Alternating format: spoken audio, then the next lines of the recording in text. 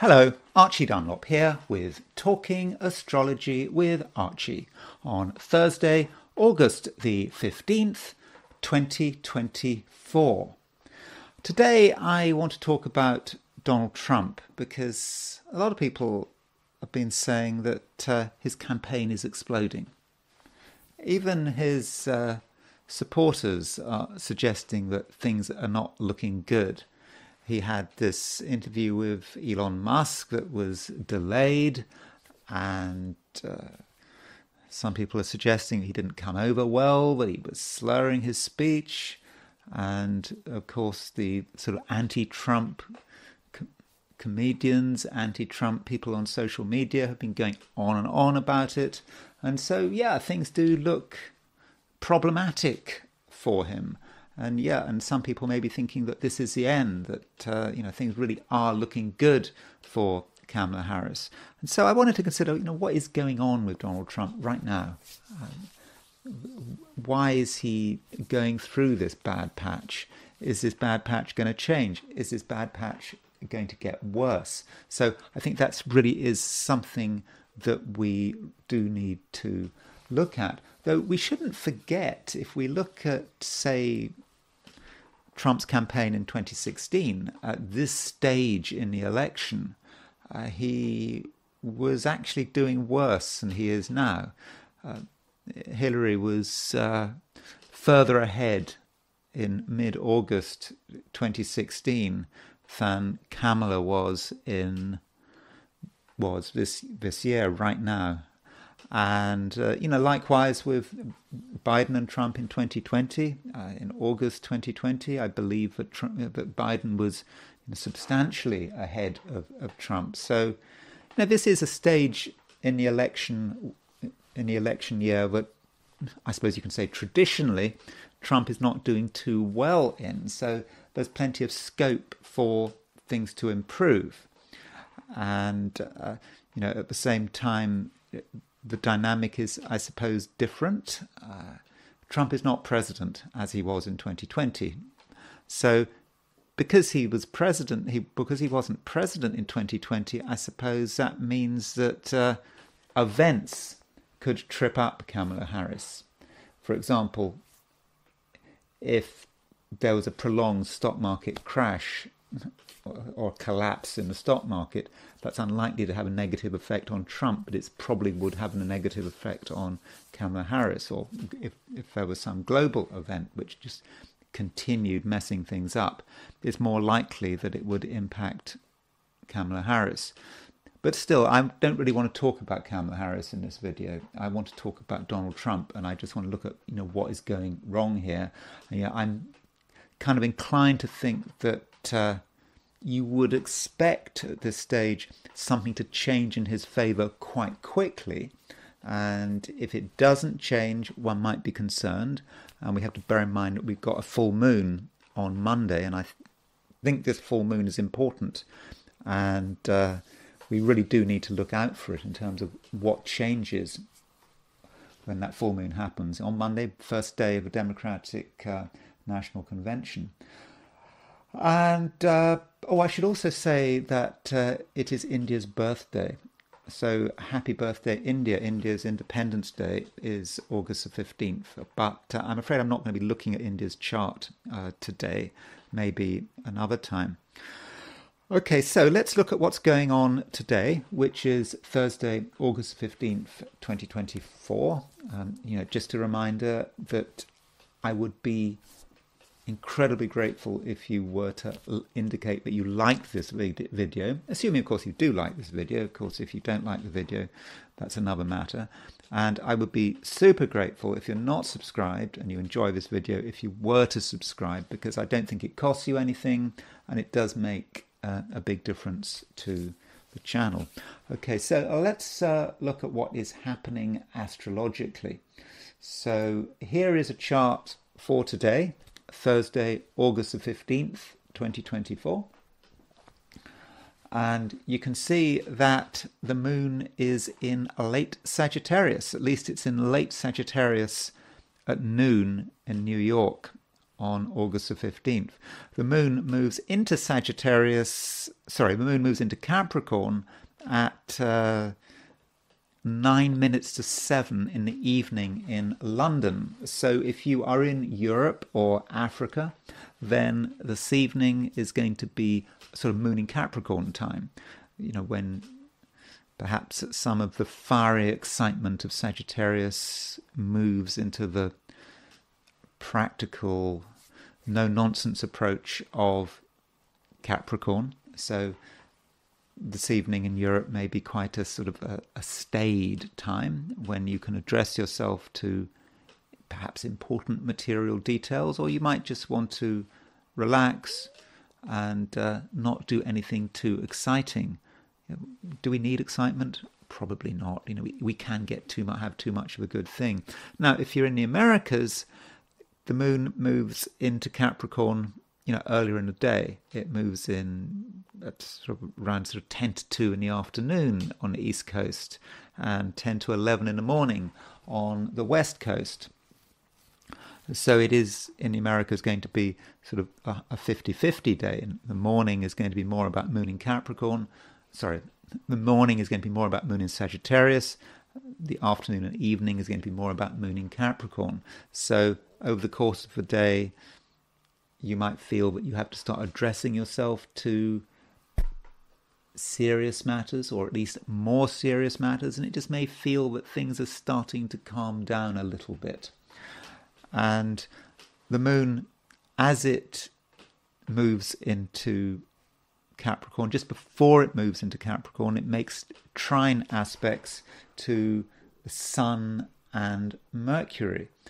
So moon trine sun. Okay, it's going to be especially strong, strong at moon trine sun if you're in Australia or New Zealand or Eastern Eastern Asia. But I think all of us are going to feel this. And moon trine sun is about a general sense of harmony, things um,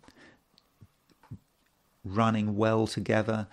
Um, they're not being um, too many disruptors, and you know we might just feel that just we're, we're at one with our environment. And you know, likewise, moon trine Mercury is you know it's a great time to, to I suppose, be be expressing ourselves, but being able to think things through in a calm way. Though, in terms of Mercury, we should remember that last night or this evening, depending on where you are, Mercury changed signs. Uh, Mercury moved uh, from Virgo into sorry, moved from yeah, moved from Virgo into Leo. So Moon moving from Virgo into Leo does create a change of a change of emphasis. Remember, it's going retrograde, so that's why it can move from a sign.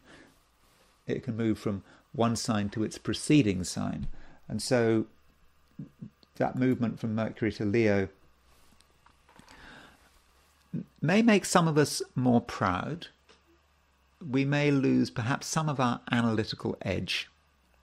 And it may not uh, be enough just to be right. We want to be seen to be right.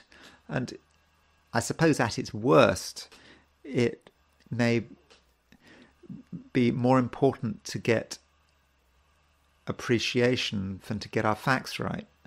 And I suppose that's uh, you know very much part of the times in which we're living. You know, we look at the news that, that basically supports our ego. I mean, we all do it, don't we? If we're not happy with something, you know, I suppose if you're unhappy that if you don't like the fact that Trump is losing, all you do is you Google Trump is winning. and or when I say Trump is losing, I mean what I mean to say is right now, short term, you don't like the fact that he's doing badly in the polls you don't like to look at uh, mainstream media gloating about it. So what you do is you restrict your Google search to sites that will put a positive spin on it. And it works the other way, doesn't it? If in the future you see Kamala losing, you'll just uh, winning. You'll sorry, Kamala losing. You'll just you know you'll just find supportive sites. So, and I think there is perhaps for all of us with Mercury moving from Virgo into Leo we might be attracted to information that uh, suits our ego, suits our preferred narrative. So, with Mercury and Leo, we just have to make a special effort, perhaps, to be open minded. Um, we mustn't be too proud because I think the facts in the end are more important than our pride. And also, one should point out, I should point out, that Mercury is quincunx Neptune. So Mercury at 29 Leo is making an 150 degree aspect to Neptune. And that may be more of the same, because there's Mercury in Leo. Mercury in Leo is very proud. Mercury likes to be right, and it's quincunx Neptune. Neptune, the planet of deception and delusion. And uh, so we might be very sure of ourselves. I know, I know how it's all going to work. I, am confident. But then Neptune comes along and it uh, it confuses us. It trips us up. It makes us think things that are just simply untrue.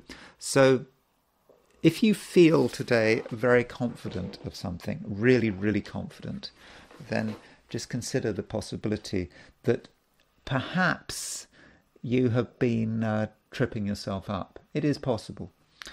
And then moon goes into Capricorn and after that there aren't any lunar aspects that come up come up in really major lunar aspects at the beginning of Capricorn. But there are two aspects that I perhaps need to point out in the fact that that is Mercury is quintile Mars and the Sun is biquintile Neptune. So Mercury quintile Mars, that's a 72 degree that's a 72 degree aspect. That's one fifth of the circle. So it is what we are trying to create. It's what we're trying to make. It's the impression we are trying to give, and the impression we're trying to give is that uh, we can be very verbal. We're going to want to be able to express our ideas powerfully and perhaps aggressively. And you know, that might be something that really motivates us. We might be therefore be making a special effort to use strong language, whether it's written in the written word or it's uh, the spoken word. And you know, we might believe that we can actually create something through the strength of our words. And at the same time, we've got Sun biquintile Neptune. Sun biquintile Neptune does represent a fantasy, but it's Sun biquintile Neptune. What does that mean? It's we perhaps at some level want to dissolve into something else. We want to be part of something. And so some of us may be making a special effort to be part of something beyond ourselves. Another aspect that needs to be considered, or at least should be considered, is Sun trine Chiron. So the Sun is at 23 Leo and Chiron is at 23 Aries. So that Sun trine Chiron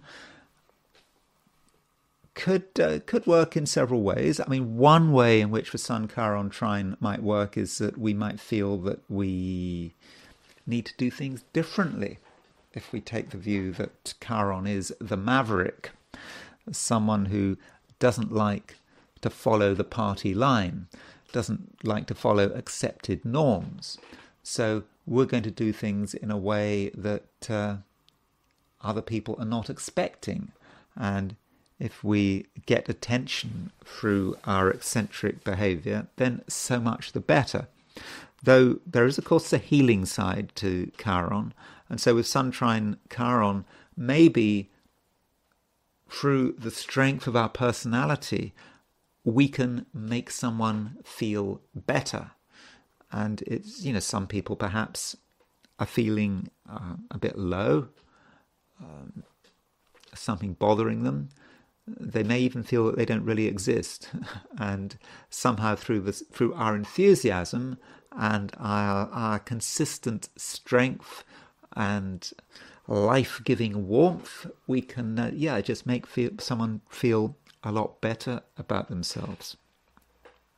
Now, there is one midpoint that I need to talk about, and that is Mars on the Jupiter Saturn midpoint. So, yesterday, Wednesday, we had a conjunction between Mars and Mars and Jupiter.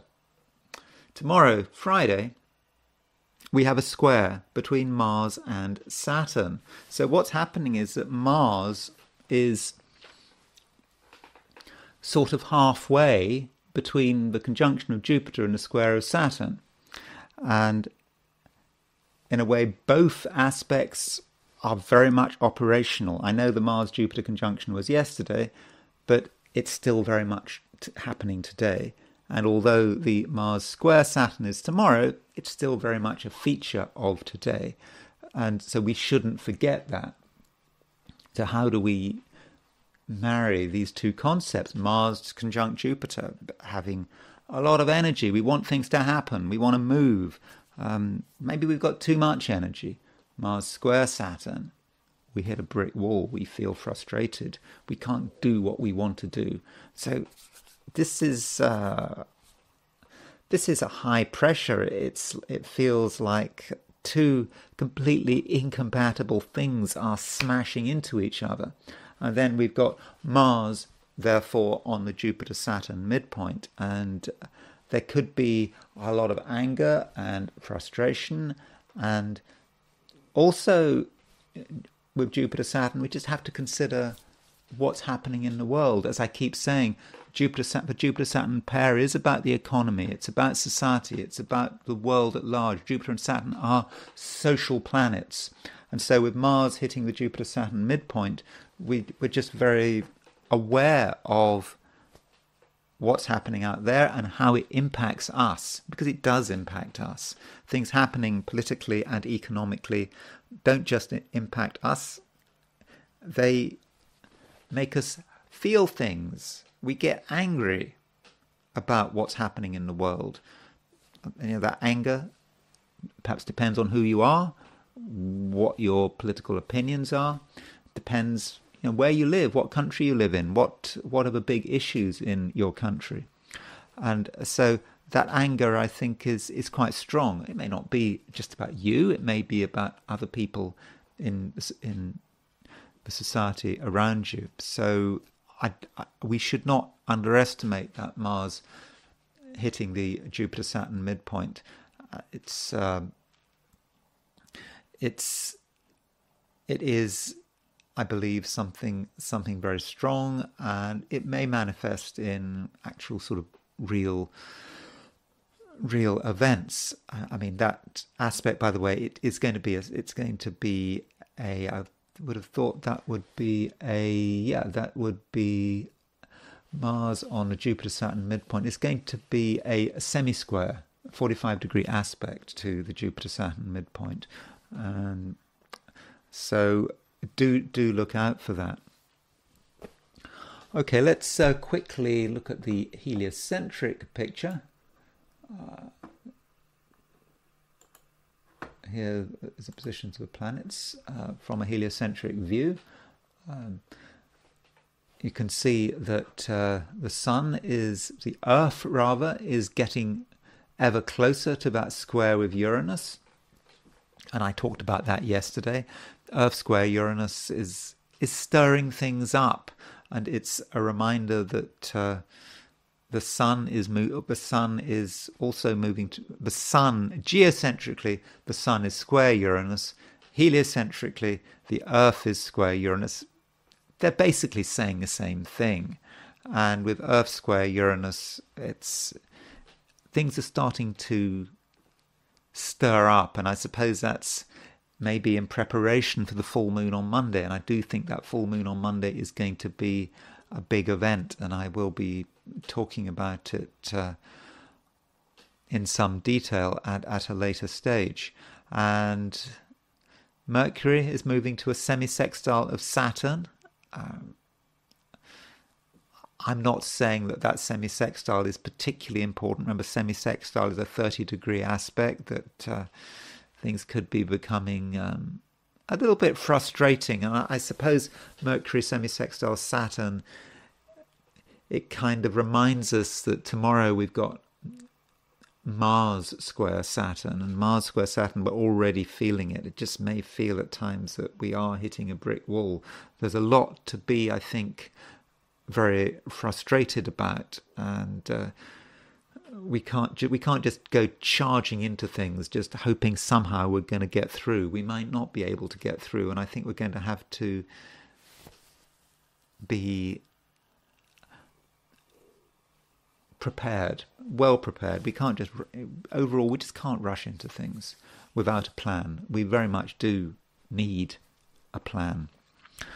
Okay, that's the heliocentric picture. I don't think there is a great deal to report. So I'm now going to do my forecasts for the 12 signs for today, which is Thursday, August the 15th, 2020 or 2024. So here we go. Here are my forecasts for the 12 signs for today, which is Thursday. Aries,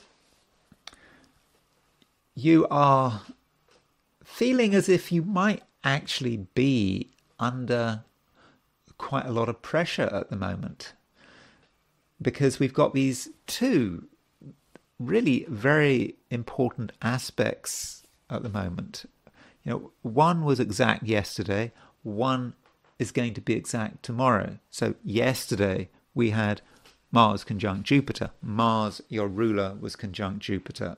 That's you, uh, hopefully, wanting to be active, being dynamic, uh, really wanting to have a powerful impact.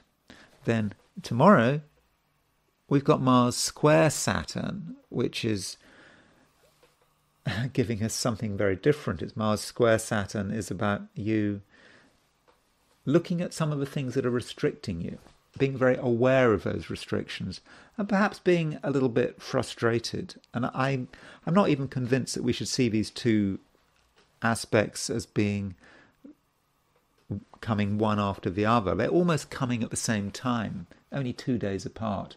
And today, you kind of get both of them. It's like you're in the middle of uh, two contending forces you might feel that you are deep underground in some in the middle of some fault whatever the san andreas fault or you're in the middle and you've got these two things on either side of you and they're sort of hemming you in and you're trying to um, you're you're trying to um, stay powerful and keep your focus but it is hard work and you you cannot really expect things to be simple. I, don't think that is possible. You can't expect, for example, things to be entirely negative. It is very easy to be very negative at the moment, but it's also very easy to be entirely positive. And perhaps you just have to, at the moment, Aries, live with complete ambiguity. Just accept the fact that there's a lot to be optimistic about. Also, accept the fact that there's a lot to be pessimistic about. And you don't have to respond if you don't want to respond. You know, I know that there's a, a, a, temptation to act. You know, when you Aries feels frustrated, when you can't get things moving, it's it's tempting to do something, but you don't have to do it. On the other hand, if you feel that the world is against you, it's tempting to give up. But again, it's not about giving up. I think it is just about saying that, uh, yeah, it is a complicated world. It, it doesn't have to be personal. Because Mars is aspecting Jupiter and Saturn, and Jupiter and Saturn are social planets. Yeah, they are part of who you are, but they are social planets. And it's not about necessarily your personality. It's about society and how you are uh, dealing with society and how you, how you are actually engaging with society. And it's it's not easy, but it's not easy for anyone. And I suppose if anyone can actually deal with these issues, it's probably you. But you've got to be very mature about it, mature and responsible. And yes, you've got to be able to live with ambiguity. Now, having quite a sensible approach as the day progresses is going to be important because today, okay, maybe tomorrow, depending on where you are, the moon moves from Sagittarius to Capricorn. Now, if you're in Europe, that's going to be more about this evening. If you're in the Americas, that's going to be more about this afternoon and this evening. But with the moon moving into Capricorn, what you have to do is you have to be, I suppose, realistic and down to earth, and above all, don't panic. You know that is a very Moon in Capricorn thing. Moon, not panicking, just seeing things as they are, rather than trying to interpret them. You know, if you try to interpret things, then your interpretations might might well be wrong. They might be too optimistic, too pessimistic.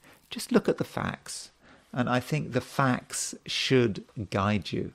Now, of course, if you're in um, if you're in Australia or New Zealand or Asia, that moon in Capricorn is going to be more about tomorrow, and uh, it'll be a sort of moon in Sagittarius day. So it is to an extent dependent on your time zone. So what I'm saying, Aries, is it's a complicated day.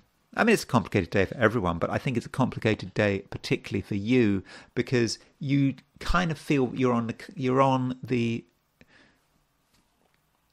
the sharp end of the whole thing. You, you're actually where these two faults are actually clashing into each other, and you're having you're having to sort of manage it, and somehow you can do it. It is absolutely possible. And if you can bring together the sort of the optimism of Jupiter and the realism of Saturn, and they can make you can you can, and if you can make them really a part of your life, then you're going to be the one who is controlled in control. You will have access and con- access to these social forces of Jupiter and Saturn. You will, I'm not saying you're going to be able to control them. No one can control Jupiter and Saturn, but you'll be able to understand their energy and perhaps harness their energy, uh, their very contradictory energy, and harness it in such a way that uh, you can start to actually use it in a way that uh, in the end you may be able to further your own interests and not just further your own interests but perhaps be a calming influence on the people around you. Taurus taurus you are a bit uh, confused today it's not entirely clear to you uh, what is happening. And, you know, think about your conscious mind. You know, what are you thinking about? And are you able to be aware and present uh, all day long?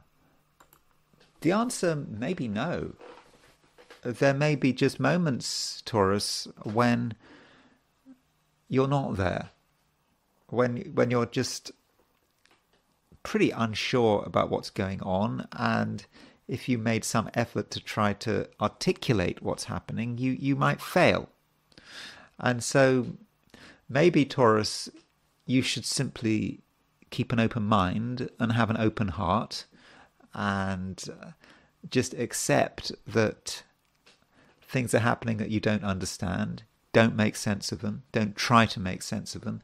Don't don't act on them. And I think that is the important point. Don't don't act on what you see and what you experience. Well, unless of course it's really important. But uh, you know, things are very much up in the air. And if you accept that things are up in the air, then I do think that things are going to be really a lot easier for you.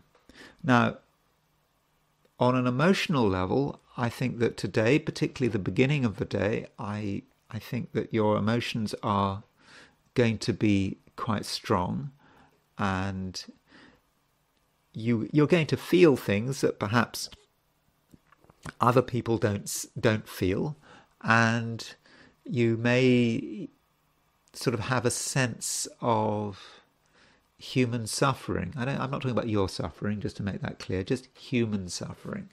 The fact that people out there are perhaps in pain and uh, perhaps that's just, just something you happen to be picking up on. It's not even that you're picking up on it, on it really on an emotional level. You're just picking up on it, and just you can you can just see it. You can see the signs of suffering out there in the world, and it's just clear to you. It's obvious. Uh, it it doesn't take any time. It just is very much with you. Now, quite what you do about that, well, it's, it's to an extent, it's about opportunity and being real. You know, sometimes there really is nothing you can do, but uh, you perhaps need to see if there's something happening in your immediate environment which you can do something about. You just have a feeling that something is wrong, and you also have a feeling that there is something you can do about it. And you can then look at the situation and understand what you can do. So, in some small way, Taurus, I believe that you can actually make the world a better place. But it's don't take risks. It's it's it's just probably something very spontaneous um, that, that, that doesn't require a great commitment of time. It, but it's just being absolutely present, perhaps for someone, for just a few minutes, and just being present at a particular time, Taurus Maybe all that's required of you, and just that is it. And you know, while you're going about your travels today, uh, Taurus, you're going to notice, I think, that people are on edge. Uh, you know, a lot of people are on edge, uh, and, and indeed, some of the people who are important to you may be on edge. They they feel conflicted and they're not quite sure what to do, and they may alternate. And that might be quite confusing today. People may alternate from being wildly enthusiastic to being wildly negative in a, in a sort of a fairly almost bipolar kind of way. Remember, I'm using bipolar not in a clinical way. I'm using it in a layman's terms, you know, just uh, using it as a sort of metaphor for the way it feels like. So there may be a sort of a bipolarity to the people around you, and it may be very difficult to accurately gauge what they really think because you know one moment they're they're thinking everything's going to be fine, the next moment uh, it's all a disaster, and I think you just need to let this thing settle. And so if you get a blast of feeling from another person. So someone really tr- tries to tell you how they feel. Yeah, sure, you may be able to help them, you may be able to heal them, depends on the situation. But it just may be that you're looking at what's happening right now, the moment. And five or ten minutes later, it could be completely different. So that may say that if you're trying to help and understand someone, maybe you should allow some time to pass, you know, because what's the case one moment may be different the next moment, and so you perhaps need to need to sort of perhaps look at a situation or a person over a period of I don't know ten minutes, fifteen minutes, and not jump to immediate conclusions because people just don't know how to respond. People don't know what the right way to deal with today's rather complex energies is. So that's. Um, that is is something that you really do have to um, bear in mind. And in term talking about your mind, um, it seems that it would be a good idea if you made a special effort to keep things simple. And you shouldn't think that the information you're looking for needs to come from far away.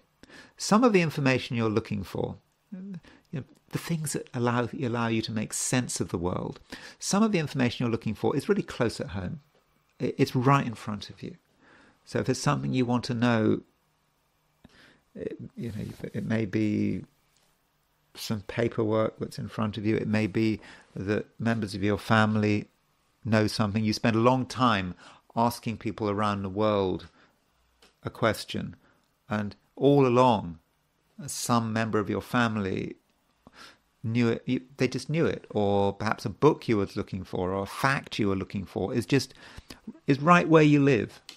And if you go back over old ground, whether that old ground is, is your own home, the people who live in your own home, um, relatives, going back over this kind of ground, you may then be able to find the information that you are looking for. Gemini.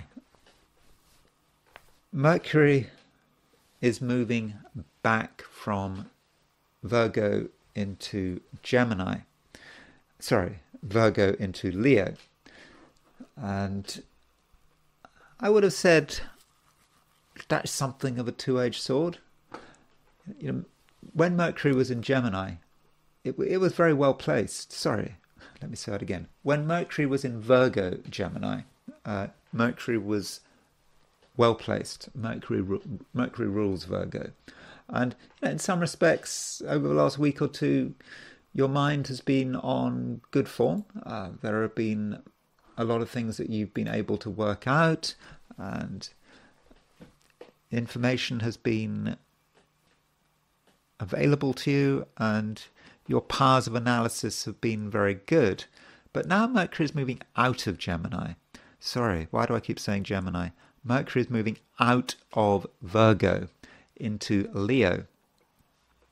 And that may say something about who you are, how you express yourself, and perhaps how you how you see yourself.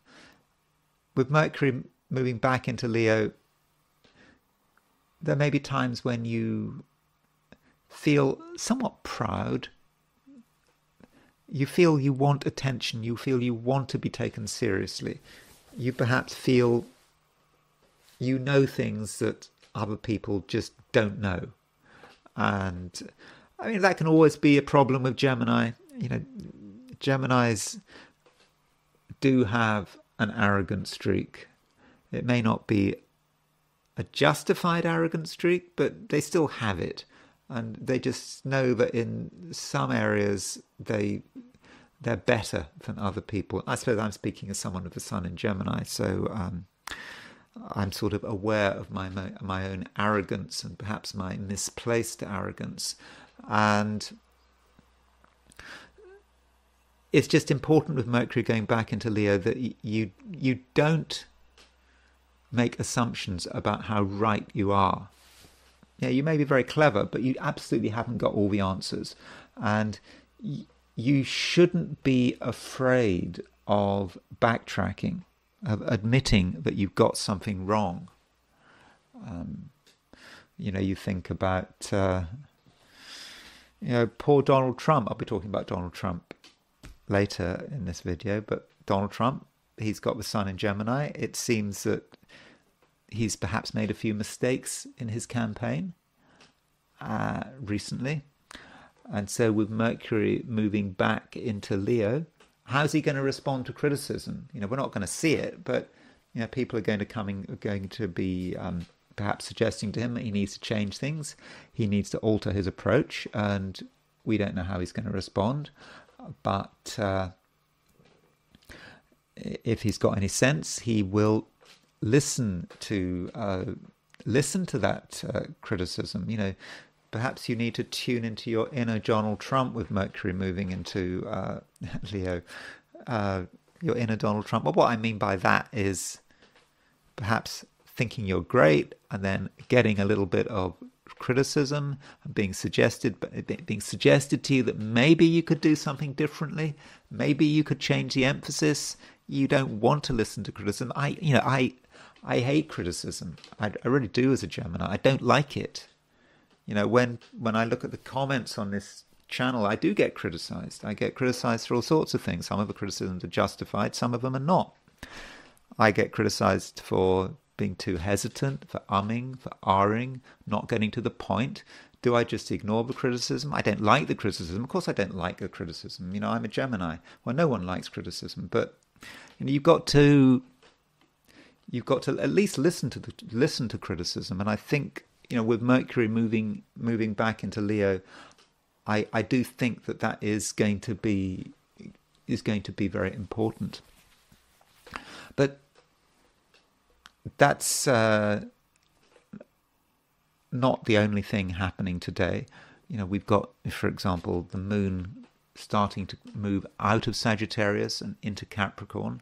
And I think the moon moving out of Sagittarius into Capricorn perhaps allows some of us to become more serious and you know to address serious issues. We know we understand. You know, through with the moon in Sagittarius, there have been people out there who have we've had to deal with, and we've listened to them, and hopefully we've understood their message. But now with the moon moving into Capricorn, we perhaps need to take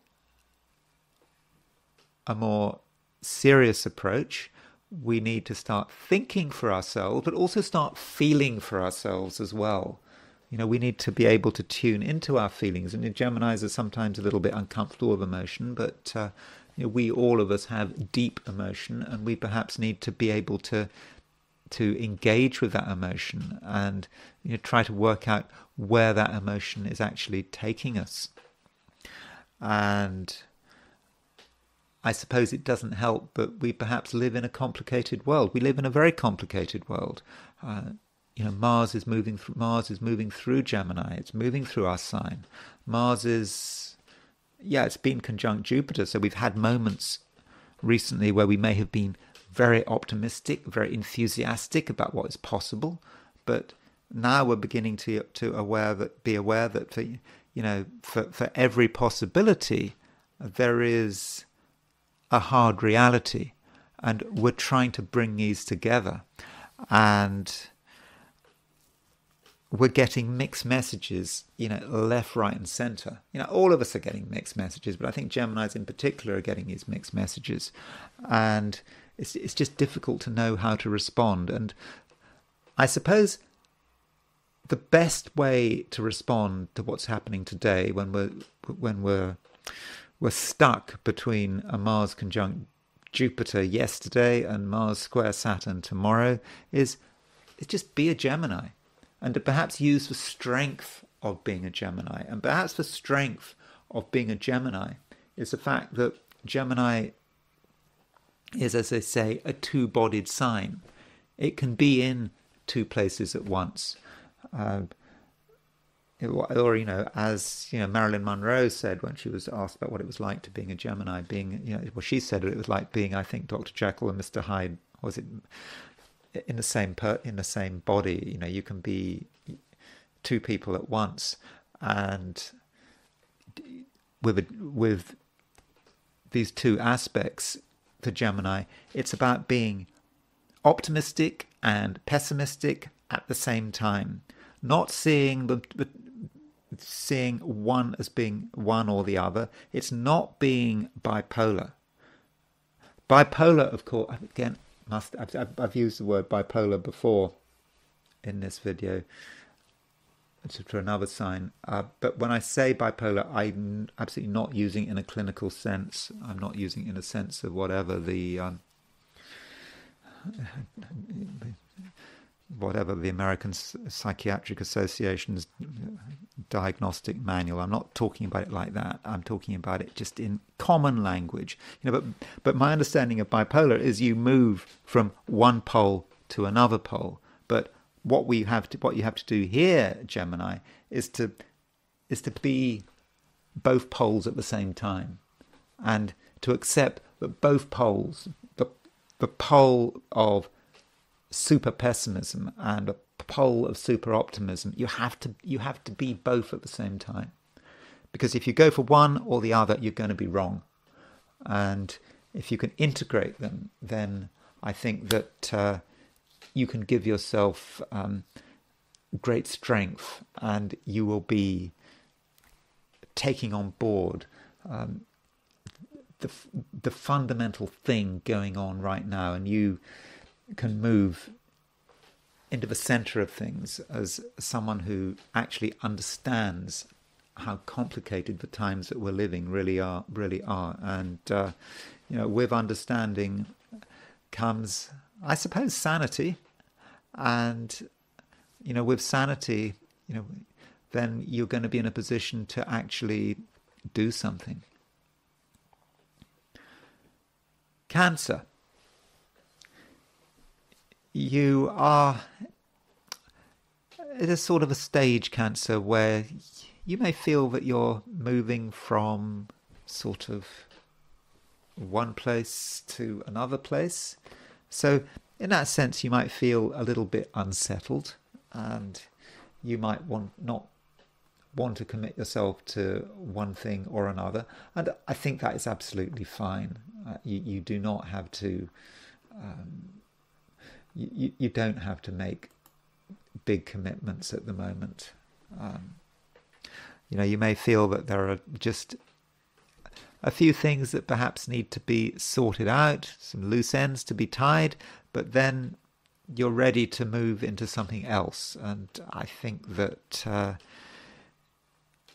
you accept to an to an extent that you have to do things other people's way, not entirely, but you do have to take take into account outside pressures. You know, they do matter, and it may be that you actually have to be of service, perhaps at the beginning of the day. And, you know, I'm, I'm not, when I say being of service, I, I don't mean that you're being exploited or anything. It's just that you just may feel at the beginning of the day that there's just something that just has to be done. Um, it may be that someone needs your help. And you know, this is a reminder that you know, right at the beginning of the day, especially if you're in sort of Asia, Australia, New Zealand, there is actually a um, a grand trine. There's a grand trine between the moon, sun, and Chiron. And you know, sun is trine Chiron, the moon is trine the sun, the moon is trine Chiron. So it's it's all it's all there. And so the beginning of the day, and especially if you're if you're east, Australia, New Zealand, Asia, then you may feel that there's just something you have to do to be of assistance, to be of service, and uh, it won't be as difficult as it seems. Just just by just being there for someone, um, helping someone deal with whatever issues they have to deal with, you can uh, certainly, I think, make a big difference. So be on the lookout for that opportunity at at the beginning of the day, regardless of where your time zone is. But I think it's going to be sp- particularly the case if if you are in Australasia or Asia, and as the day progresses, I think cancer there are going to be people that you have to accept I mean, accept that they, you have to accept that they have some kind of influence, and, and that can't really be helped. And so don't feel that you can entirely ignore another person's influence. But at the same time, you don't want to be overwhelmed by it. But uh, you can maybe learn from someone if, if you if you look at what their role is in your life and how you accept that role, and you, you might just see that uh, someone who you thought was unimportant, you know, may actually have a significant impact on you, and, a, and an impact which, in the end, could turn out to be quite beneficial. And continuing on the theme of other people, I I think that some people really are under a lot of pressure and they don't really know how to respond. Um, you know, and even people who appear to be quite powerful. So it's, it's you know it's easy to be overwhelmed by powerful people, but if you actually look at how powerful people are behaving, then you can start to see their their insecurity and their hesitancy and perhaps even their weaknesses. And this applies to powerful people who you have to engage with, you know, whether it's, I don't know, older family members perhaps, or it could be politicians, officials, bureaucrats, and you, you just see how these people, uh, you, you just look at these people, even if they seem very formal and they've got a role, perhaps they're on the other side of a glass window, you can still see their vulnerabilities and you can still see the pressure and tension that they're under. And that may be a situation in which you can manipulate it, but you can, you know, you can manipulate things. So if you can start to see someone's weaknesses, you know, even if this person seems to be in a much stronger position than you, once you start to see the weaknesses, I think cancer that you may actually be able to use these weaknesses in your favor. You don't necessarily have to do it in a malign way or a malicious way, but uh, you do have to think about your own interests. I mean, every cancer has to think about their own interests. So,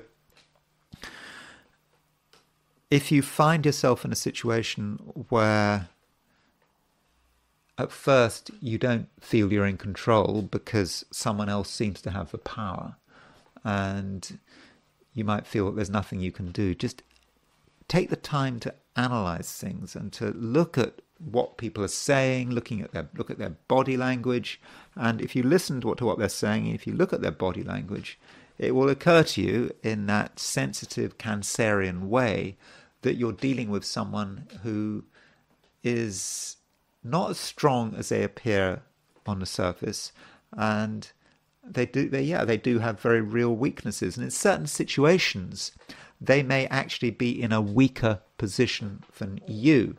So, through your sensitivity, you may be able to reframe the power balance. And so, you might have thought you're in a bad position, but when you really analyze it, when you really look at it, you actually are in a much stronger position than you realize. And that means today, Cancer, that I would hope that you have a growing sense of your own power because I think your power today is very, very real, but it needs to be recognized.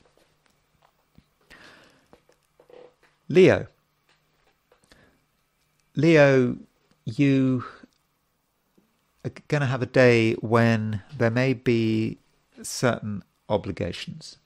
You just may feel that there are some things that just have to be done and it's not about fitting in with the consensus. The consensus doesn't matter, Leo. The, the, consensus should be of no concern to you. You instead have to do what is right, and indeed, what is right for you. And that means, in this case, I think being an individual. Very important to be an individual and to think outside the box. And if you get criticism for what you're doing, then that shouldn't bother you. Now, it might might still bother you. You know, I suppose as a Leo, you like getting praise and attention. You don't want well, you you're going to get attention, I think, but in terms of praise, you, yeah, you like to be praised. You don't want to get criticism, and you just might feel that you have to do something that is um, just a bit risky. I don't mean risky in sort of terms of your, uh, for example, physical and financial well-being, but just something which makes you stand out. And it may be, Leo, that you have to do something to address a wrong. Something has been done wrong. Uh, someone has been treated badly, perhaps. And I'm not necessarily talking about you being treated badly, someone has been treated badly. And as a result of that, Leo, it just might seem clear to you that you actually have to go and do something about it. And that means potentially um, going out on a limb. But I mean, it's okay because you're doing the right thing. And if you're doing the right thing in the long term, in, the long term, you know, what can hurt you? Because it's it's all about if we do what's right. If we do what's right, then we are doing what the universe wants, and we are aligning ourselves with the universe. And Leo, you should not be afraid of explaining yourself because Mercury has now moved back into your sign. And so, with Mercury moving back into your own sign, I think that's going to give you, in a way, a new confidence. A new confidence that you are in the right and that you can explain yourself. Now, that doesn't mean to say you're always going to be in the right. We always need to have a certain amount of humility, you know, especially when Mercury moves into Leo. You know, we do need to accept perhaps a bit of criticism, as always. That's nothing wrong with criticism, but with Mercury moving into Leo, uh, be proud in terms of what you believe in, and especially your sense of right and wrong because I think at the moment Leos do have a very strong sense of right and wrong. And if someone questions your moral compass, then you can give as good you can give as good as you get. And I think in many cases your explanations and your your self defense of your stance is going to be extremely effective. And you know, I should make it clear that right now, Leos are able to bring to bear an enormous and transformative power if they so wish. And that's not just because the sun is in Leo. Yeah, sun is your ruler, it's in Leo. It works very well in Leo, but it's not just because of that. It's because of the way the sun relates to the to the overall horoscope. I mean, if you want, I don't want to get into jargon, but you know, into the jargon, but the sun is aspecting the Mars Pluto midpoint if you're interested. And so Mars Pluto is about bringing to bear enormous power, really able to make things happen through a transformative turn. So perhaps it's not about gradual change, it's about sudden change. And it's that sudden change, Leo, that you can bring about. So, Leo, I think you know you get the impression now that you are strong, and you are strongly you are strongly positioned to make things happen and I don't think you'll have any problems um, articulating your opinions. And yeah, if there's anything wrong with the world, if there are any injustices out there, then I think you can go some way towards sorting them out, or or perhaps at the very least making people aware of them. Virgo. There are some things, perhaps, Virgo, which don't have to be said, or at least maybe no longer have to be said.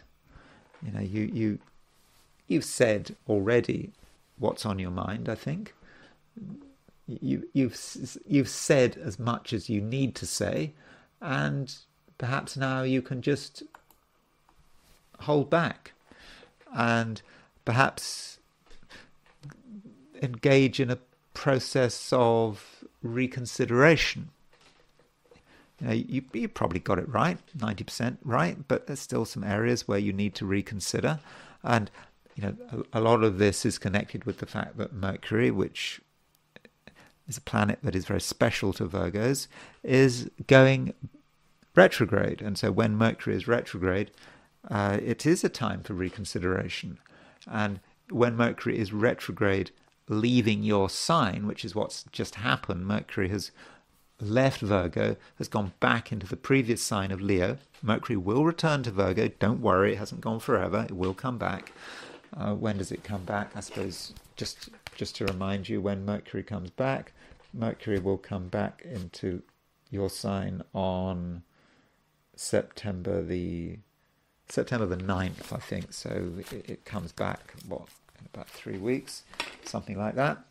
So for the moment, it is a time, I think, to reconsider and not to feel that you have to explain yourself anymore. You know, you've you've done your bit, and at the same time, Virgo,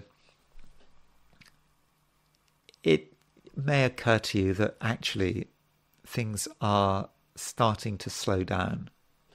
That it's not going to be easy to get things done, even if people have made promises.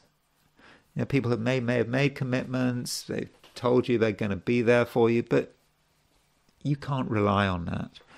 And I think you may find that a lot of people, including you yourself, actually want to stay put.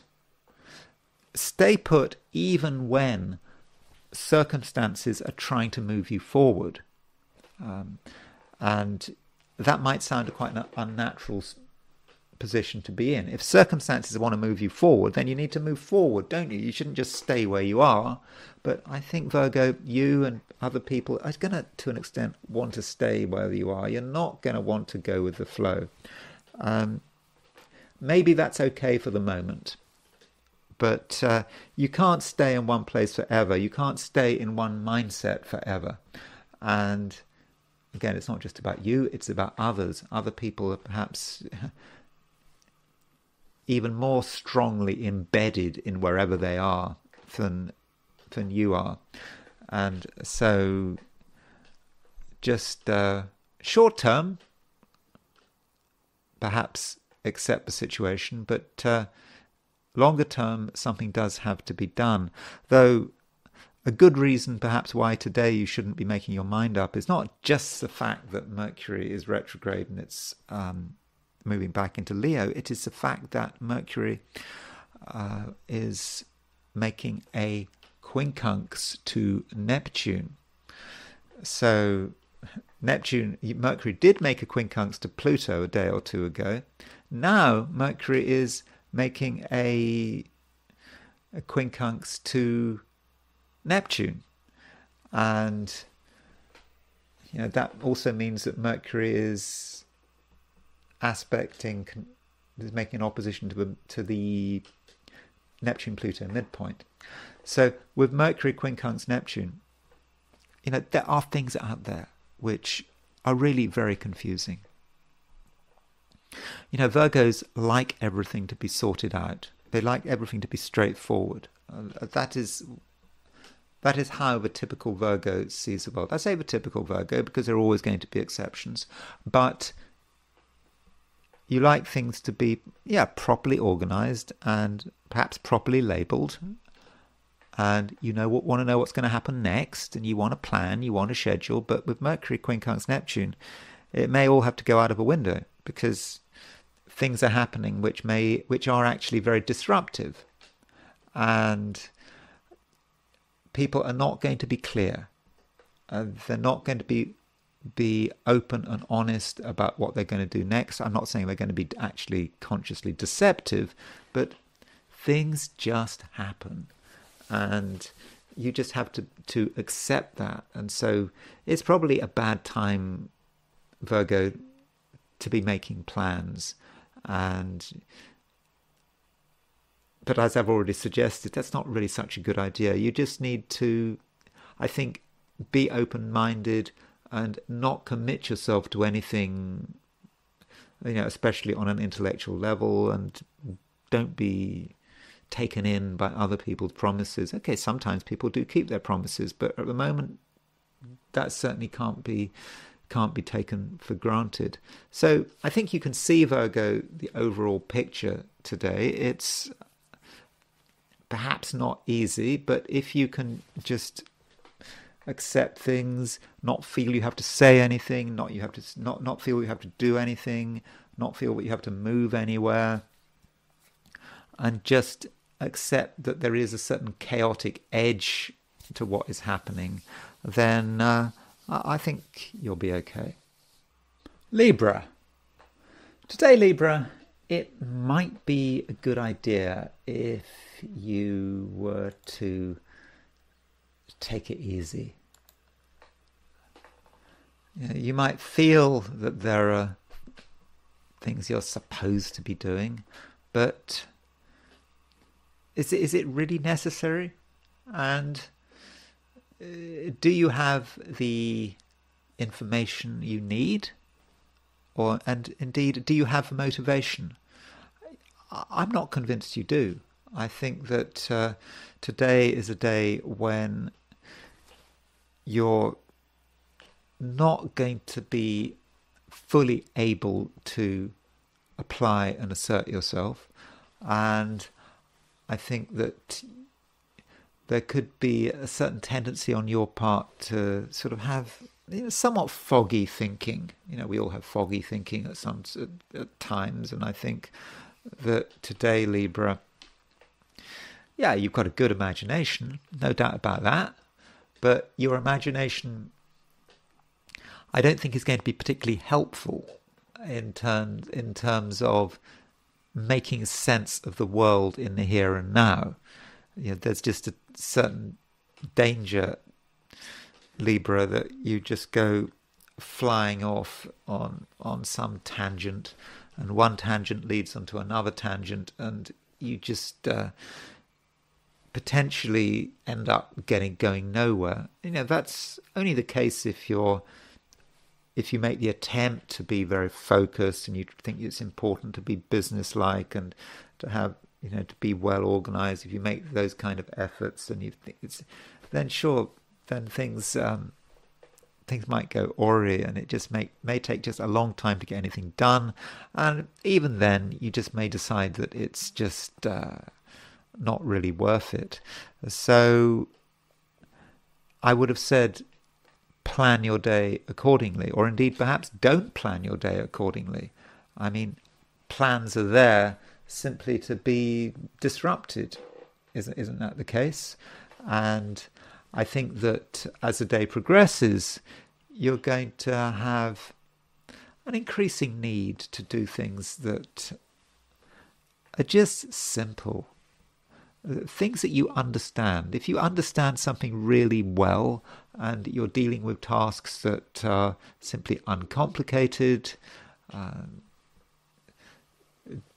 don't require intellectual gymnastics, then I think that you'll do uh, you'll do a good job.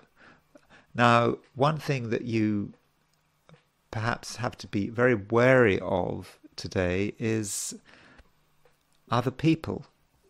And other people are just going to be difficult to deal with. And it may be just be it's because they themselves are confused. I mean, I think you're quite confused, or you have a capacity to be confused today. And uh, same goes with other people. Other people just don't know how to respond. It's it's a very stop go kind of day. Yeah, for everyone, it's a stop go kind of day. But I think you are going to be particularly aware of this stop go nature in terms of people's behavior.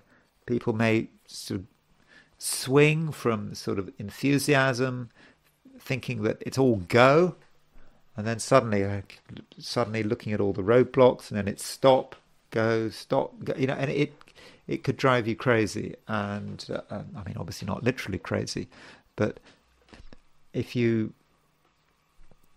if you really do things other people's way, if you put yourself at other people's mercy, and you're always in a state of responding to another person, yeah, as, as can happen with Librans. Libra, Libra is a very sociable sign, but you could just be completely confused and you know you just have to go in lots of different directions and yeah and you end up going nowhere. So maybe libra it's a time when you need to be as self-sufficient as possible. You need to put yourself into a situation where you are making your own decisions or even ideally where you don't have to make any decisions at all and then you can uh, start to assert some control over the situation. And if you do have to do with, deal with people, I suppose everyone has to deal with people at, at some level. Maybe it's people like you know partners, close friends. If you have to deal with people, then take them seriously up to a point, but don't take them so seriously that you have to do things their way. Just perhaps listen to them, and try and understand their confusion. I, don't think that you're going to be able to really provide any useful feedback because it just may feel that you're dealing with just powerful forces. I won't say powerful people, but people who at least think they're powerful, and they may it just may feel that they're a law unto themselves. So I, think that is that's really it. I think that is the broad message. And I would also say that it's important to be as absolutely sane as possible today, really sane. Um, you don't want any distractions. You don't want you don't want to have your mind filled with things that are not necessary. You don't want to, and you don't really want to expose yourself to other people's worries. Now, I, I know it's nice to listen to people's worries and to be concerned by by people's worries and to give people feedback and try to solve other people's worries. But today, no, I don't think so. I, I think that uh, you should uh, keep a distance from people's problems and resist the temptation to really uh, tie yourself up with them. So I don't know if you're a Libran psychotherapist, maybe you should just have a day off. Or if you're just involved in any form of counseling, and then just have a day off. Uh, okay, you've always got to make time for your family, but aside from that, I, I think that uh, there are grounds, perhaps Libra, for just being a little bit selfish. Scorpio, you are in the middle of things, really, Scorpio, aren't you? you know, you might try your hardest not to be involved, but I don't think you can help it. And you are aware of opportunities for sure, but you're also aware of everything that can go wrong. And you're not entirely sure how to how to respond. And it's it's all rather contradictory. So, you know, yesterday, Scorpio, I was talking about Mars conjunct Jupiter, and I, you know, I suppose I was saying that with Mars conjunct Jupiter, you you had the chance of doing a lot of things, and you wanted to do a lot of things, and perhaps you had a certain sense of optimism. I think you still have a certain sense of optimism. Um, and uh, you know, I was also suggesting Scorpio, you don't go too far into yourself because Mars, you know, that Mars Jupiter conjunction can be a little bit obsessive. You need to go into yourself a little bit just to tap into your own power, but then you need to go out. That's what I said yesterday. And now today things are just getting more confusing because you know Mars is starting to make a square to Saturn. Okay, Mars is you've all been feeling this Mars square Saturn for some days, but you're you're really feeling that now, and it's about it's about pressure and feeling that yeah sure something has to happen. You have to do something but at the same time you may wonder, be wondering what you can do. And you may feel that there are circumstances out there which could really be be pressurizing you and it may be difficult to know how to respond and so what do you do about this situation? You know, do you allow yourself to be uh, squeezed uh, until you know something has to actually give? I mean, there may be something almost quite explosive about this um, when you're dealing with two things which is just so completely contradictory. Well, Scorpio, it is important you don't exaggerate. I mean, Scorpios can exaggerate. You know, they can just regard a situation as being hopeless, that there's nothing that can be done, that you just want to, I don't know, in the end, just hide under a rock. That's, that's a standard uh, safe Scorpio approach, isn't it? I, I mean, if you take the view that one of the symbols of the scorpion is the snake, and hiding under a rock is what snakes do when it, when it's all too complicated. Um, but perhaps you need to go a little bit further than that. I mean, sorry, when I say further than that, you perhaps need to be um, a little more proactive. So, you know, in the jargon, you know, as Mars is halfway between the conjunction of Jupiter and the square of Saturn, we can say that Mars is on a Jupiter Saturn midpoint. And so that says something about you. And you just feeling the pressure for sure, but perhaps what you have to do is you know make sense of the pressure. I suppose it's like that kind of hydroelectric pressure. It's like boiling water perhaps and you boiling water can be incredibly destructive but boiling water can also be used to power turbines. And so those Scorpio turbines need to start moving because once the turbines move, you can you get electricity, and so perhaps you need to regard yourself as being some kind of um, kind some kind of power station. You know, you you you're the you're in a position to take these dramatic forces of nature and turn them into something that is actually useful, or, or at the very least is understandable. And so, yeah, you're in the center of things, and it's so easy to be overwhelmed. You know, when I was talking to when I was talking to Aries, I was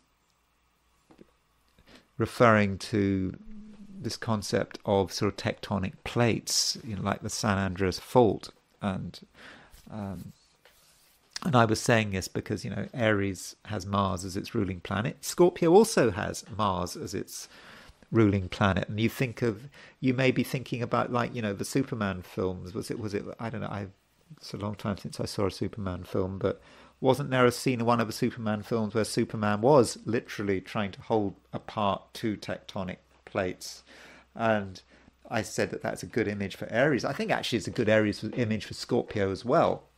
And you are in the middle of things, but you do have a great deal of power. You, you have insight, and perhaps because you have insight and perhaps also an awareness of risk. You know, you don't you you you understand how much risk is actually possible, and perhaps because you've got a risk, an awareness of risk, you can maybe do things which other people won't. and get involved with things which just other people just find to be just uh, too complicated. And in the end, Scorpio, perhaps you can find a resolution to the issue. And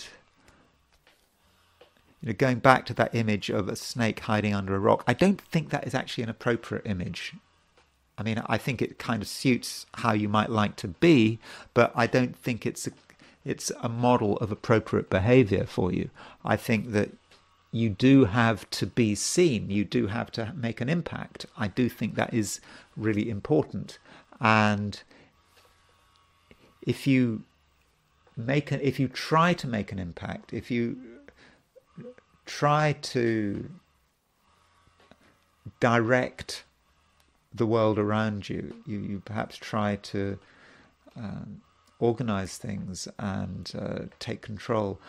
I think that you actually will be well rewarded. For one thing, you're going to have, you actually have quite a lot of power, and actually, actually, you have a lot of transformative power, and also you're very aware of what is wrong. You know, Scorpios have a great sense of justice. Uh, of all the 12 signs, I think perhaps Scorpios have the most powerful uh, sense of justice, a really powerful sense of justice. And if someone is a victim of unjust injustice or is is hurting, I think Scorpio, you you will in a very sort of public way, I think, be able to do something about it and perhaps be able to transform the situation in, in everyone's benefit.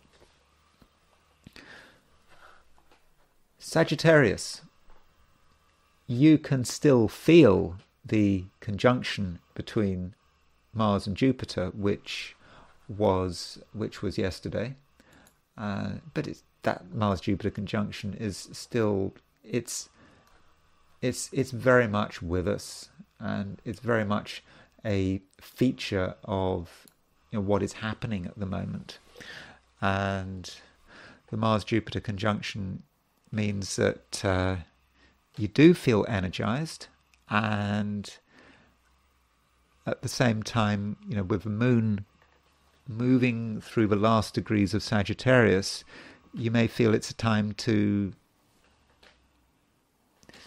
really make something happen. Perhaps you know you have a, a, vision you're optimistic about something and you feel that now now is the time really to do it. But you probably haven't got all the time in the world because the moon does move into capricorn at some stage. You know moon could go into capricorn as early as you know 10 to 11 in the morning even earlier if you're in um, alaska or hawaii if you're in australia or new zealand it's fine you've got moon in sagittarius is uh, uh, all day long, and uh, but uh, in India as well, not just Australia, New Zealand. In fact, uh, Asia, Australia, New Zealand, Moon is in Sagittarius all day. So perhaps if you're in Australia, Aust- Aust- Australia, New Zealand, Asia, there's not such a hurry. But if you're certainly if you're in the Americas, you do need to hurry up. There's there's just something you need to resolve, and if you've got some sort of idea which is uh, you know very optim- optimistic and you want to start work on it and you want to interest people in it now may be, may be the time to do it because if you wait too long and the moon moves into capricorn that does create a change and i think the thing about the moon moving from sagittarius to capricorn and why it's important is this is that yesterday there was Mars conjunct Jupiter. Tomorrow, you've got Mars square Saturn. So it's like while the moon is in Sagittarius, this is a sign which has a certain sympathy with Jupiter. That's perhaps a time when there's when the Mars Jupiter conjunction will hold sway. But as the moon moves into Capricorn, that's when the Mars Saturn square will hold sway. So there will be perhaps a big change as that happens. And yeah, that so that means if you're in Los Angeles, Moon moves into Sagittarius at I think it's at uh, nine let's get this right. I think it's at uh, nine minutes to eleven in the morning, and so uh, you know, get up early. You've got stuff to do. Um, if if you're in New York, it's you can, you can wait until ten to two in the afternoon. It's not so bad. Uh, if you're in Western Europe, you've got all day, at least until the evening. So it kind of depends. And so Sagittarius, I think a sense of timing is right. Sorry, a sense of timing is going to be very important today. And so don't be lazy. Um, if you if you've got something that, that really matters to you and you want to get it off the ground, then then now is I think very much the time to do it, and you, you can't you you, you can't waste uh, you can't waste time. It's absolutely not a time for time for um, wasting time. Absolutely not. And then, uh, you know, as the day continues, as the moon moves into Capricorn, in fact, before the moon moves into Capricorn, you are reminded of the fact that Jupiter is square Saturn. Now, that Jupiter square Saturn is exact on Monday, but you're feeling it. I, am pretty sure you're feeling it. Uh, did I mention it yesterday? Probably, but Jupiter square Saturn, you're just aware of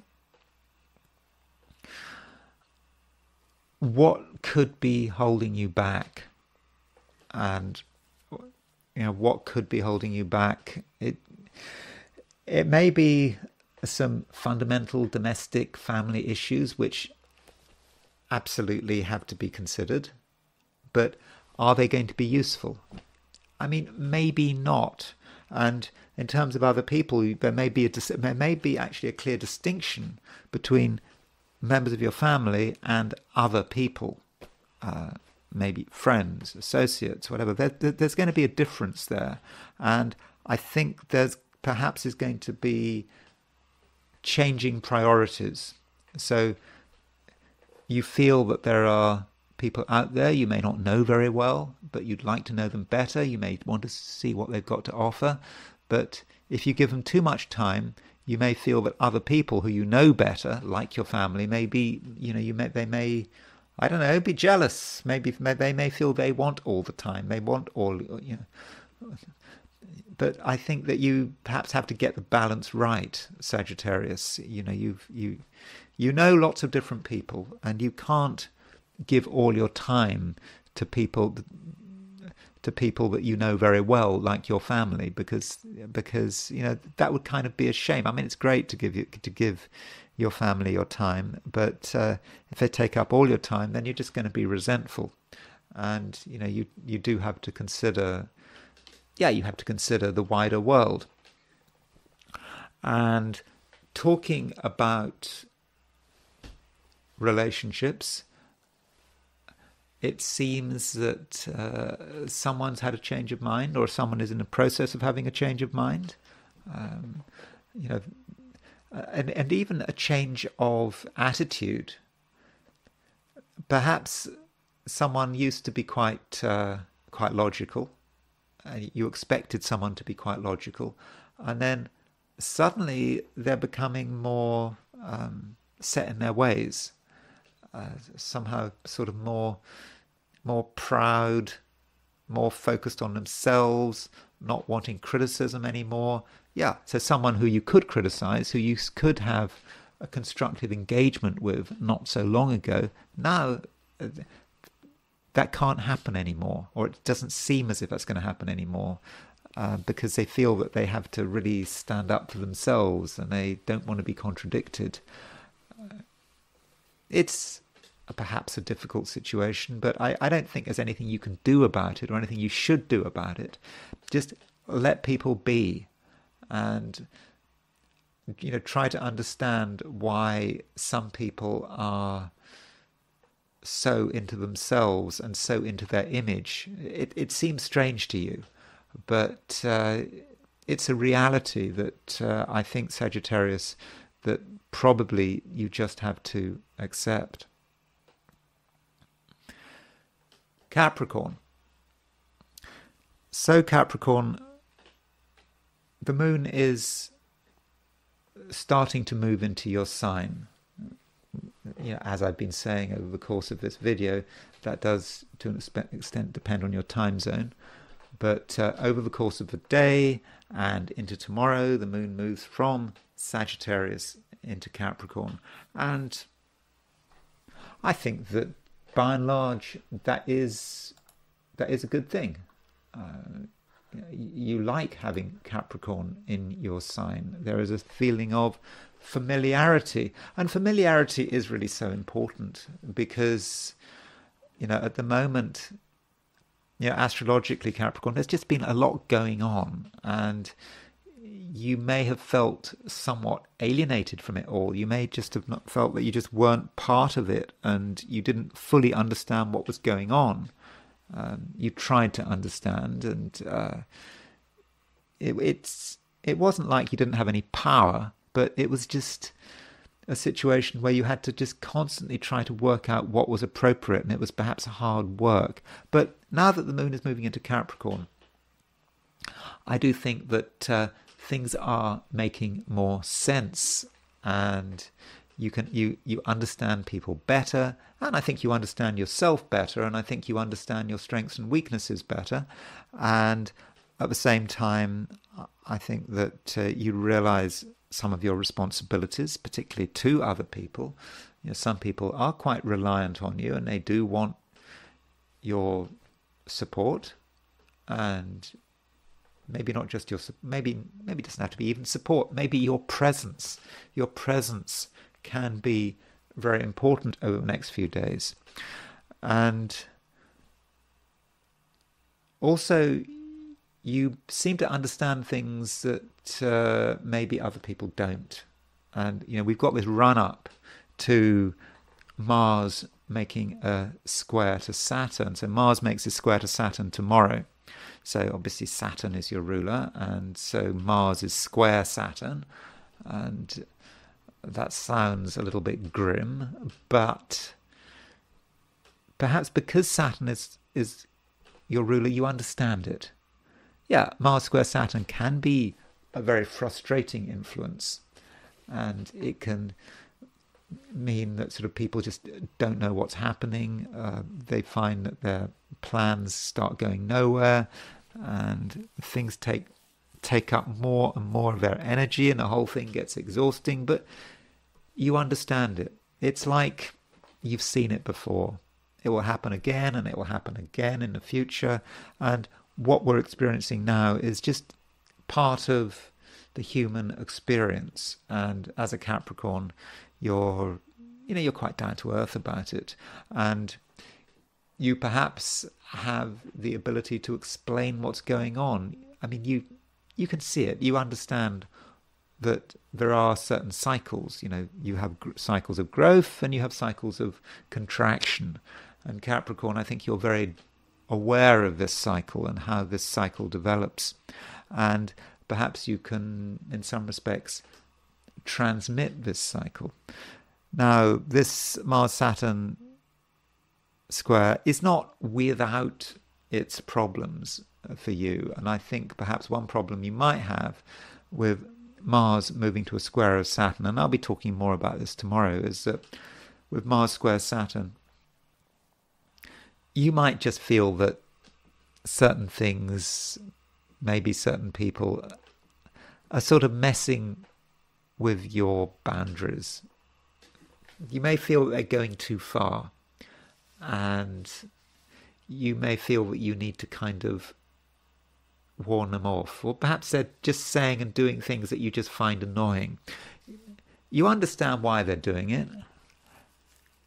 You also understand what kind of damage may result, and if someone is being annoying, I think that you understand that in the long run, nothing bad is going to happen, but it's still an annoyance. And so, Capricorn, it's just going to be very important that you decide how you respond to this annoyance? I mean, do you go over the top or do you just uh, let things be? You know, sometimes the best way to respond to annoying people and annoying situations is to do nothing. Because if you respond, you just add fuel to the fire. And so by just uh, just observing, being mildly irritated but not overreacting, Capricorn, that just might be the best thing to do. And uh, it means you're not giving power to a negative situation because if you give power to a negative situation, it just gets worse and worse. But you know that, Capricorn. You you understand that, and you're you're not given to exaggeration. And I, and I think that sort of level-headed approach uh, will serve you very well. Aquarius. Aquarius, you, like Capricorn, have to deal with a square aspect between Mars and Saturn. Now, that square aspect between Mars and Saturn is tomorrow, it's not today, but I still think that you're going to be picking up on it. So, with Mars square Saturn, it, it may be that there is a somewhat irritating influence. And yeah, you may find someone annoying, and you might be rushing to judgment. I mean, it's easy to rush to judgment, but I don't think you should. So, if something is happening that you don't like or you don't approve of, that doesn't mean to say it's a bad thing. It may be that different people have different paths. And just because something seems stupid to you doesn't mean it is stupid. And it certainly doesn't mean that it's stupid to another person. So I think that Capricorn, you have to, as far as is possible, to accept other people for what they are and even if they're doing something that you just really don't approve of, it, it, it doesn't mean it's wrong. So, an open-minded approach, uh, Aquarius. Did I just call you call you Capricorn? Sorry if I did. An open-minded approach, Aquarius, is um, is going to really matter, and at the same time, Aquarius, you you need to think about yourself. I mean, it's all very well thinking about what other people are doing and what other people are doing or not doing in terms of their creativity. But you know, what about your own creativity? Uh, that's what matters. Uh, forget the rest of the world. Forget other people. It's about you and what are you doing. And actually, if you're honest with yourself, Aquarius, it may actually be the case that you may be um, not making the most of what you have. I mean, you've done well. No one's doubting that you're a very talented and clever person, but maybe you could be even more talented and even more clever if you were to finish one more thing. There's one thing that you're you're not addressing, you're ignoring. And now's the time, perhaps, when you need to look at it again. It's about taking a skill that you have, and it may be quite a mundane skill, so sort of a skill that not in itself is special, but through transformation you can turn it into something completely amazing. And, you know, it may be very trivial. I don't know. You may, for example, um, I don't know, using a technological example, you, you may be very good at, or you may have some ability to use a, a piece of software on your computer, but in a fairly standard way, in a sort of regular way and it's nothing special. But if you were to just really look at what you were doing, then you might make it really special, make something amazing. Or it could be some facility you have in terms of business. You know, you in the past you perhaps have had some some success in terms of making money out of something or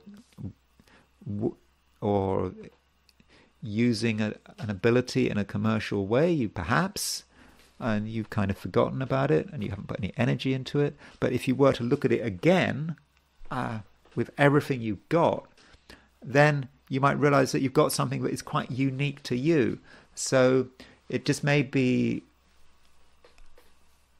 just abilities you have that you just take for granted.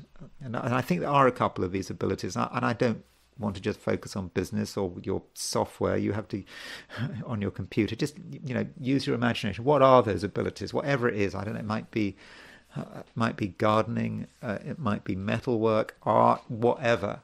Um, whatever that ability is, that you haven't taken fully seriously. And if you were to absolutely focus everything you've got on it at the moment, not just today, but you might find that you've really got something special to offer. Um, okay, not you don't even have to offer it. It can be something about you and your own personal satisfaction.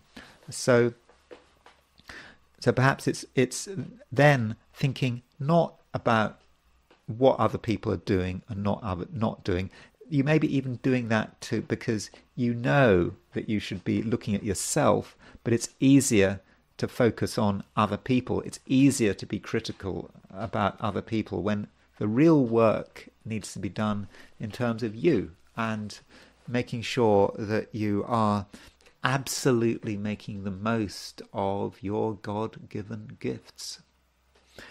Pisces. So, Pisces, we had or we have a conjunction between Mars and Jupiter, and that Mars Jupiter conjunction was exact yesterday, and it's it it might have been a bit tough. Um, you know, I know it's supposed to be good a Mars Jupiter conjunction, but it can just be too much of a good thing. Just having a lot of energy or there being a lot of energy flying around, but really not exactly knowing what to do with it. it, it and it might just have felt that it, it was out of control or it was just something you you didn't really want to bother with because perhaps it was uh, just too much. But now we have a situation where the Mars Jupiter conjunction is still very much there, but Mars is now moving towards a square of Saturn, and in fact, technically, we've got Mars semi square of a Jupiter Saturn midpoint as you move from one aspect to another aspect. And that aspect between Mars and Saturn, which, which as I said, is exact tomorrow, I think you're feeling it today, very much so. And I think that for many Pisceans, there is a certain sense of frustration. Uh, it's just difficult to get things done. And that's going to especially be the case if you take a single minded approach. If you take the view that there's only one way of doing things and you've just got to keep moving, if you keep doing that and you keep moving, then you might just find that you're you're just getting nowhere because you just haven't been able to consider alternative approaches. And it, it and that is important. And you need to firstly start with your basic structure. You have a structure and you've you've structured your life in a particular way and that's great. And it may feel as if there's only one way of defending that structure, and now that structure is perhaps being challenged a bit, and so you're perhaps going into defense mode, but in a process, nothing is happening, nothing is moving, it's just the pressure is going up. And this is a somewhat un- unnatural position for a Pisces because, you know, Pisceans need to have some flow. And I think it might be at the moment that you feel that some of your flow is perhaps being interrupted, that you can't do everything that you would like to do. And so perhaps Pisces, you need to consider the possibility that you need a new set of resources. So, you know, what would those resources be? Well, don't underestimate the possibility of finding social resources. I think it's a time, Pisces, when other people can be surprising. And, you know, once you involve yourself in some kind of cooperative enterprise, then the surprises can happen. So it's not just about working with people in a casual way. Once you can actually start to create some kind of union, some kind of um, cooperative unit, then there can be a change. Then you may actually be surprised by what another person has to offer. So maybe it's a time, Pisces, when you need to sort of work in a team. I don't say in a partnership, perhaps more in a team. I mean, it can be in a partnership, but it just that perhaps on your own you haven't got all the resources. And when I say a team and a partnership, I'm not.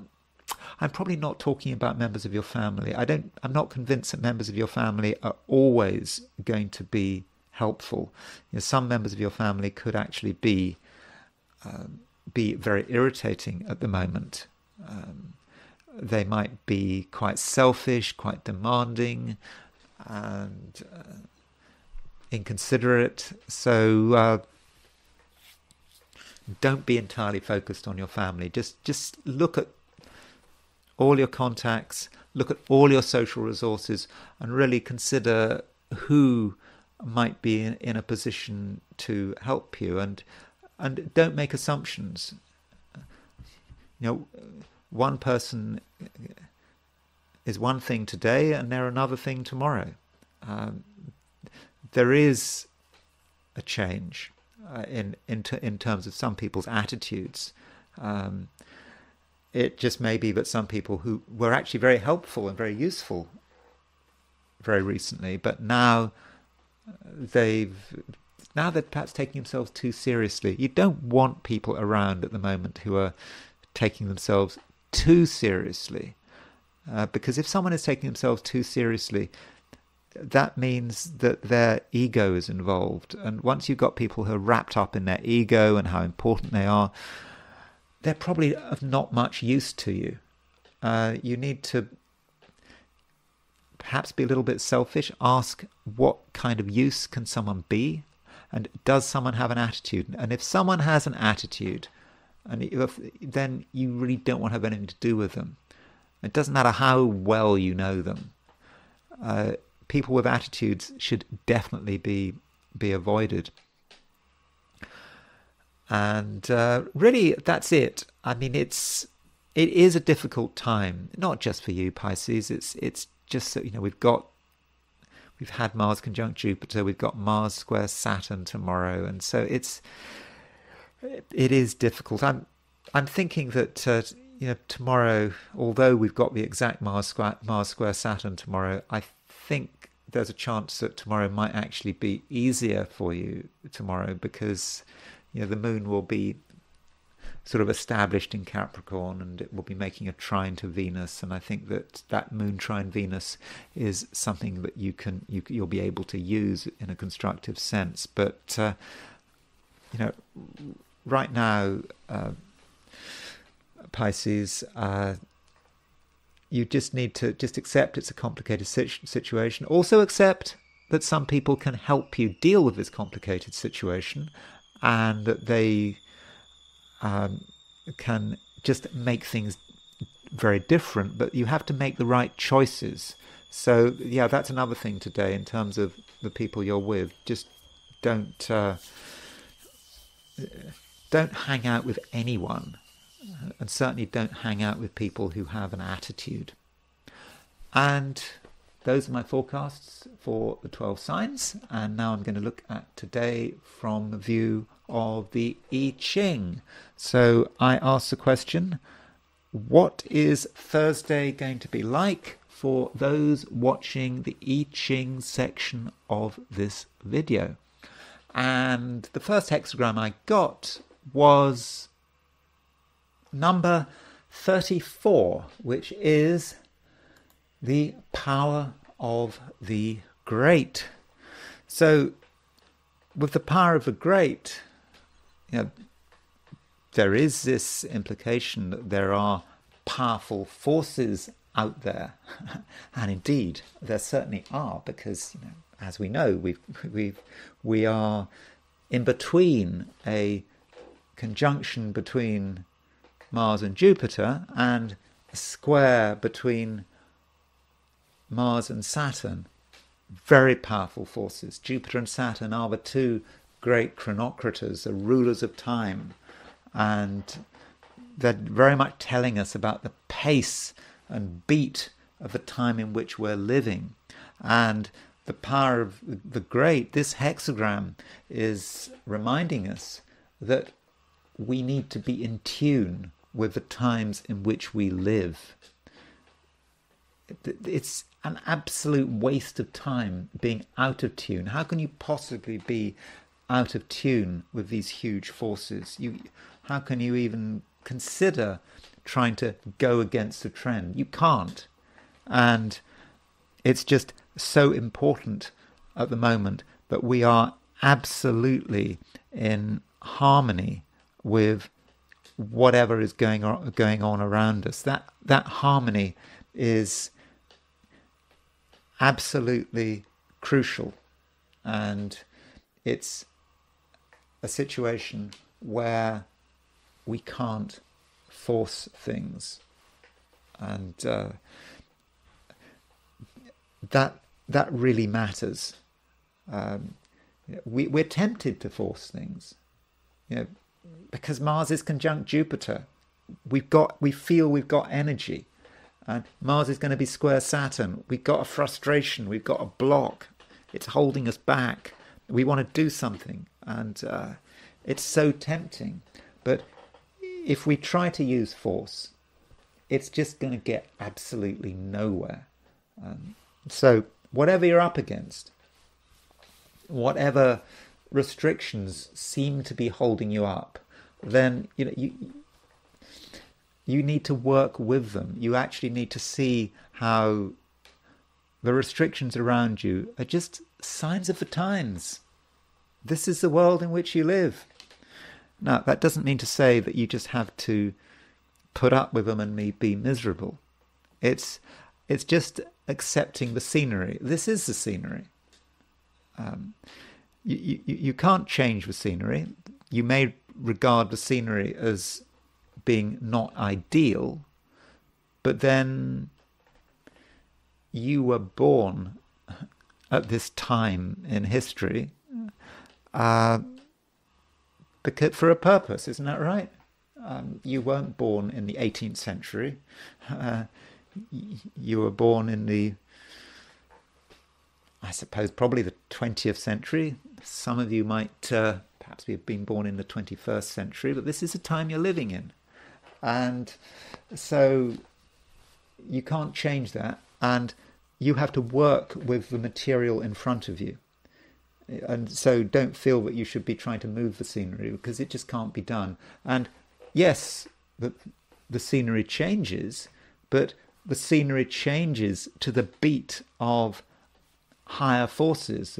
Right at the moment, we can symbolize those higher forces with, you know, Jupiter square Saturn, Mars hitting that Jupiter square Saturn. That's those are the times you're living in. That's the material you've got, and as that's the material you've got, you'll be able to make the most of it because that's why you were put on the planet when you were put on the planet. And you know there will be a time when I think when you feel that you are completely stuck the the I Ching has this imagery of I think of a goat that's stuck in a hedge. can't go back, can't go forward. And that's so descriptive, I think, of what we've got with going back to the Jupiter Saturn square. Mars conjunct Jupiter wants to go forward. Mars square, you know, con- uh, optimistic. Let's go forward. Mars conjunct Jupiter. Mars square Saturn. This is too much. Let's go back. And you can't do either. And so it is quite frustrating. But the I Ching says, well, you know, it's not actually unfortunate. We just have to go with the flow. We have to accept it, accept the situation as it is. And it's not about getting out of the hedge. We're all in the hedge. that, that's the way it is. And we just have to work with the hedge, not work against the hedge. And I think this is, uh, you know, further emphasized by the, by, the, by the hexagram that follows. And the following hexagram, which, which because we've got two moving lines of the power of the great, on the power of a great, we move to a different hexagram. And the hexagram we move to is hexagram number 38, which is opposition. You know, this is a reminder that we are at some level at odds with what's around us. I think we're, we're actually at odds with some of the people around us. We don't actually feel comfortable in the situation that we're in. How, but anyway, how can we feel too comfortable? You know, as we're coming up to this Mars square Saturn, it's it is tough, and we might feel that someone is or a situation is really restricting us, is just preventing us from exercising our freedom of action, and we just may feel that what we can do is we can just change the situation. So if we're feeling that we, we lack freedom in one place, we might then think that if we go to another place, we'll have more freedom. But, you know, the grass is always greener, isn't it? And so if we try to free ourselves, and even if we appear to free, if if we appear to succeed in freeing ourselves, we just move someone somewhere else, uh, and the situation just repeats. And so it is about, I think, accepting the situation. We can't get on with everyone. Some people are going to be cramping our style, and we are strong. We can feel our strength. The previous hexagram was the power of the great. Uh, you know, it's you know, it's like you know, we are sort of a raw force, and I think we're compared with a ram that wants to get out of its enclosure. Um, and wants to go go and go into go and do stuff, but we just have to accept the situation. And this, you know, we we can't be friends with everyone. People are going to be holding us back, and the more we fight against it, the worse it, the worse it's going to be, and the more restricted we're going to feel. So I think that today acceptance is going to be very important. But you know, I, I must emphasize we're not badly placed, certainly vis a vis other people, not at all. Perhaps our advantage is that we understand what's going on, but just other people maybe don't. And uh, one person who does appear to be experiencing a certain amount of frustration is uh, Donald Trump. And I I know I go on and on about Donald Trump, but I just noticed yesterday, I was just notice this complete wall of negativity about him. Now, I'm not going to say that everything is great for Donald Trump, but I, what I want to try to understand is, you know, why why has why is this happening? Is, does is his campaign really really over? Uh, is it finished? Is he going to lose in November? Well, these are big questions. Um, but I think I think we tr- want to try to understand what's happening um, right now. I'm not saying that I'm going to be super successful at this task, uh, but uh, anyway, let's let's see what we can come up with. And you know, I'm going to go over some stuff that I've already looked at. But uh, so here is Donald Trump's chart, and so Donald Trump he turned he turned 78, didn't he? In um, he turned 78 on June 14th, and so here's his chart.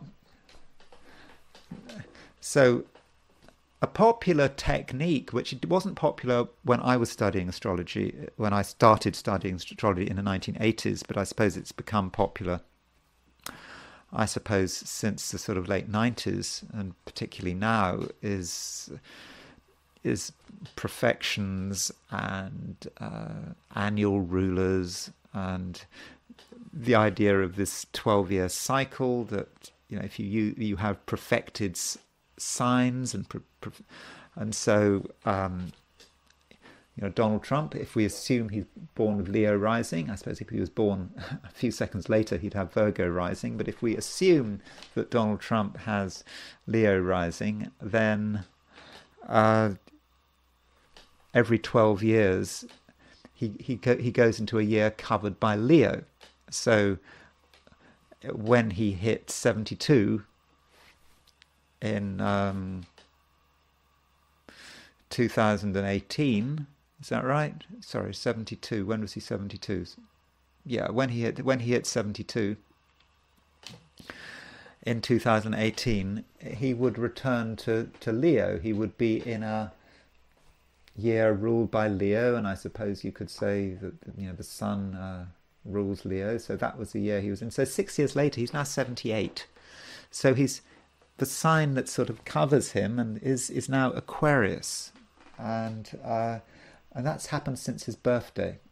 And so I know it looks sixth house, but of course this is a Hellenistic technique, and they use whole sign. They they use whole sign houses. I'm not saying I'm an expert on this technique. I'm just pointing this out, and I know that some people have, are using uh, profections to try to predict how, what the result of the election is, and so the thing about Aquarius for Trump is that Mars, he's got Mars in Leo. So Mars is opposition Aquarius.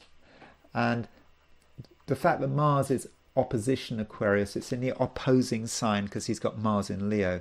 And I think that that really does indicate enemies and frustrations. And it's kind of not surprising that, you know, very soon after he turned 78, within just over a month, there was an assassination attempt on him.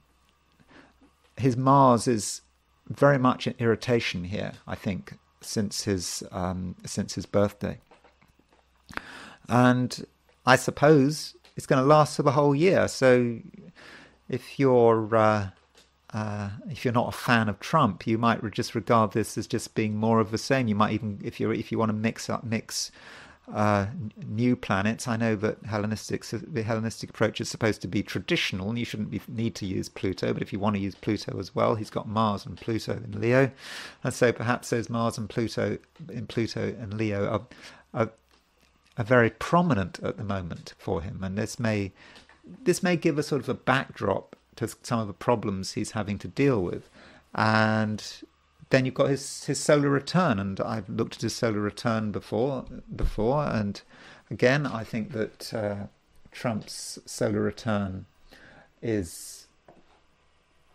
really somewhat difficult. Uh, so if you look at his you know his solar return for 2024, uh, you know he's got Saturn Saturn on the midheaven. Now we have to be careful with that. Saturn on the midheaven might mean the presidency. It could do. And, and know, I've looked at solar returns for other presidents. You know, when they have got elected, and some presidents got elected with far worse solar returns than that. So I don't think you can look at the solar return and say, "Oh, this is a sure sign he's not going to get elected."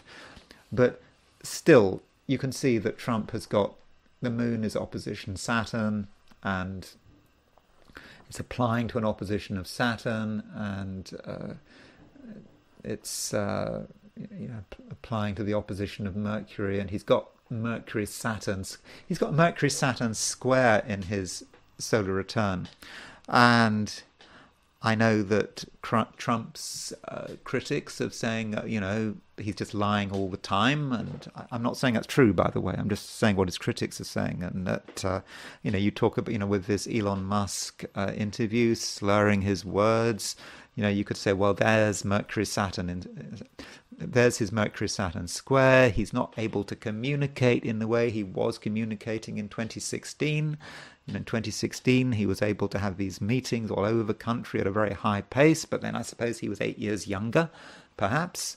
Um, but so Mercury Saturn is perhaps the Mercury Saturn square is is starting to weigh on him, and uh, in terms of that lunar return, and of course that Moon opposition Saturn, the Moon is ruler of the ascendant, so.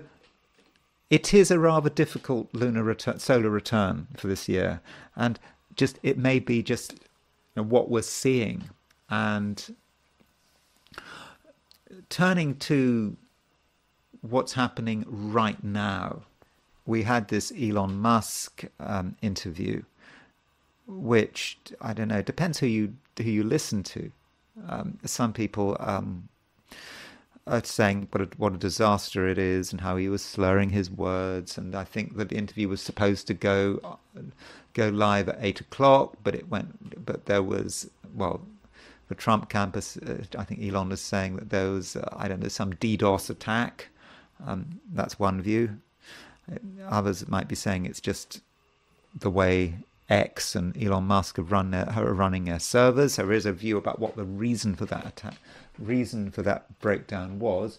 But uh, let's just have a look at the supposed start time for the interview with um, between Elon and Trump. I don't know what location to use, so I've just gone for New York. If I've got the location wrong, you know, my apologies. So I think we get evidence here when Elon and Musk were having their interview that, that, that they hadn't really consulted an astrologer, had they? I mean, regardless of the ascendant, you have got the moon at 24 Scorpio. Uh, in it, it's it's fallen in Scorpio, and it's moving to an opposition with Uranus. That's what it is. Moon opposition Uranus. That is just not good. Uh, it's just a bad time to have an interview. Things can happen, um, like they did with, for whatever reason, why the servers collapsed. And of course, we've also got Mercury retrograde. I wouldn't necessarily read too much into Mercury retrograde because Mercury is going to be retrograde for a long time. It's going to be retrograde during the Democratic National Convention. We don't know how that's going to work out. And I will be talking about that in a moment. But uh, I think you always got to look at the moon when you've when you've got this kind of this kind of chart. And if we have the ascendant right, the moon may be square the maybe maybe square the ascendant, but that does not seem to be a um, a fortunate time for Trump, uh, you know, with that moon opposition Uranus. Then, how did that interview and a general position of the planets right now, how how they how are they actually affecting Trump? And so there we've got Trump's chart in the middle, and we have got the um, the planets right now on the on the outer wheel. Um, now, Saturn could be a bit of a problem here because at the time of that interview, Saturn was at 17 degrees 55 Pisces. And so at the moment, you know, when people are, you know, questioning Trump's ability to win, he has got Saturn exactly square his Uranus. And, you know, when you've got a planet like Uranus, um, I tend to regard Uranus as a transpersonal planet, and I I actually think that in many respects you can do a horoscope without using Uranus because I have a traditional streak in terms of the way I do my charts, and it's it's especially if you're just an ordinary person like me. Uh, do you need Uranus? I'm not. I'm not of any importance in terms of the universe. I'm not a global player. But if you're a global player like Trump, you know, don't forget the universe has decided already whether or not he's going to win or not in November. Uh, we're so close to the election that it's already decided one way or the other. And so Trump in a Trump, you know, like Kamala Harris, is not a human being. They're just a tool of the cosmos. I mean, let's not get personal about it. And because Trump and Kamala Harris, you know, are tools of the cosmos, I, I think that, you know, we can regard that Uranus as being very real, as being an important planet to consider. So if Trump has Saturn, if Saturn is square his Uranus, you know, Uranus is his um, his disruptive power, his ability to um, as they say, change the conversation. I hate that phrase, don't you? And that his ability to, yeah, be a disruptor, cause chaos, and benefit from the chaos. So that's what he's got. But having Saturn square his Uranus, I mean, you, you might even see, which I wouldn't, but some of you might see Uranus as being somehow uh, a higher octave of Mercury. Again, I wouldn't do that, but you could. But perhaps with Saturn square Uranus, part of his power has been completely disrupted. That that's one way of looking at it. Yet, of course, Jupiter is conjunct his Uranus. Uh, Jupiter hasn't actually moved on to the conjunction of Uranus. So at the time of that interview, Jupiter was at 1625 Gemini, Uranus was at 1754. Uh, so that's so perhaps this is as bad as it gets as far as Saturn hitting his Uranus. Uranus is, Saturn is now going to go retrograde. So that the impact of Saturn hitting his Uranus is not going to last for much longer. It's it's peaked. And it pretty much peaked at the Elon at his meeting with Elon Musk. The if you're interested, Jupiter will Jupiter is going to conjunct his Uranus. Um, uh, that will happen. Uh, well, it's kind of already happening. Jupiter's it's it's already there. Pretty much today, Jupiter's moving on to that Uranus, but still, I think he's got he has got some difficulties to to contend with. So that I think does make does make a, a lot of sense, and um, Chiron is giving him problems. Uh, look at there's Chiron is Chiron is at Chiron at the time of the interview was at 23, 24 Aries. So Chiron was square his Saturn. So Saturn is his, I don't know, perhaps his limits and how he's trying to control things. And Chiron is creating uh, sort of an uncertainty, and it might be a certain sense of the wound, maybe feeling wounded by these attacks, and it's just not fully working for him. But still, I wouldn't. I, I don't know. I wouldn't really. I just would not underestimate that Saturn square his Uranus, and then there's got then there's Uranus itself. Uranus is at twenty seven six. Taurus. So Uranus is still very close to the square of his Mars. Um, and the assassination attempt on, um, which was on um, July the 15th, was when you had the Mars conjunct Uranus square his Mars, but Uranus hasn't Uranus hasn't gone anywhere, and so Uranus is still undermining his Mars. And remember, Mars is perhaps particularly has been particularly prominent since his 78th birthday, when uh, you know Aquarius and Saturn became the, from a profection point of view, started to become became prominent the moment he hit his uh, 78th birthday. So Mars is a very sensitive point for him at the at the moment, and so with Uranus square his Mars, it's still there. Actually, I think that that Trump is, is still has to be watch out for his safety. I mean, I know we've had the Mars Uranus conjunction already, but that's probably the peak where the peak threat, but it's still there, and um, but perhaps we also need to see Mars about his anger and his frustration, and you know, Trump has a very strong Mars. Um, it's it's conjunct Regulus. It's um, it it has minor dignity. It's not peregrine, and also he has Mars aspecting the ascendant midheaven midpoint. So Mars is semi-square his ascendant midheaven midpoint. Remember, the ascendant midheaven midpoint, that is the time and the place.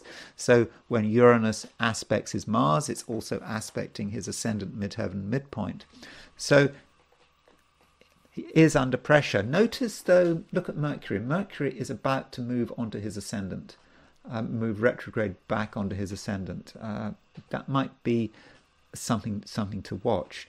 So, in terms of transits, I think we can see the issue. Oh, but let's do you know in terms of quincunxes and outer planets. You know, his ascendant is very very much an important way in which he presents himself, and so he's he's got Neptune quincunx his ascendant. He's got Pluto moving towards a quincunx of his ascendant. So you could say that Neptune and Pluto are the Neptune midpoint. Pluto midpoint is hitting his ascendant, and so that is how he presents himself. And it's just I suppose he's he's dealing with wider forces that he doesn't fully understand, and that may be having a negative impact in terms of his presentation. So those are a few transits, but what about secondary progression? So in terms of my analysis of charts, I've I, te- I have I've sort of shied away from secondary progressions, but secondary progressions is a sort of bread and butter technique in astrology. So secondary progressions is when you just you know, on 78th year, you just look in the ephemeris at what the planets are doing on the 78th year after he was born. So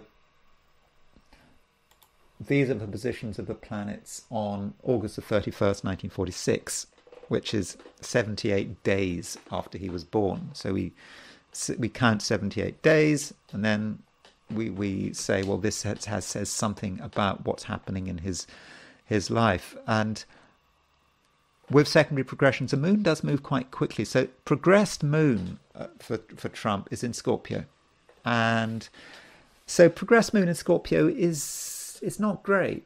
It's it's fallen in it's it's fallen in Scorpio, and perhaps he's really starting to feel it. And you know he's he's already had progress moon square his Saturn. Now that would have been that would have been exact in May, June, July, I think in May. So kind of a, that was the time when he was was he that was when he was found guilty in New York of I think that was approximately. So that was Moon square Saturn. So he kind of survived Moon and Scorpio square Saturn, but still, in, generally speaking, Moon in Scorpio progress having a progressed Moon in Scorpio is not particularly fortunate. Um, it perhaps makes him a little bit brooding, makes him edgy, makes him perhaps difficult to deal with. But on the plus side, uh, his progressed, progressed moon is applying to a square of the sun. And so I think from his perspective, like over the next month, as the moon makes a sextile to the sun, that does, I think, perhaps give him the, the opportunity to sort of um, get a grip, perhaps, and uh, not be so upset about the way things are happening and just get that moon in Scorpio under control. Moon, moon sextile sun is a nice aspect, but I'm. Uh, I think it, it's certainly going to mitigate, I think, the moon in Scorpio. Now, looking at how the progressed planets are, con- are aspecting his natal planets, uh,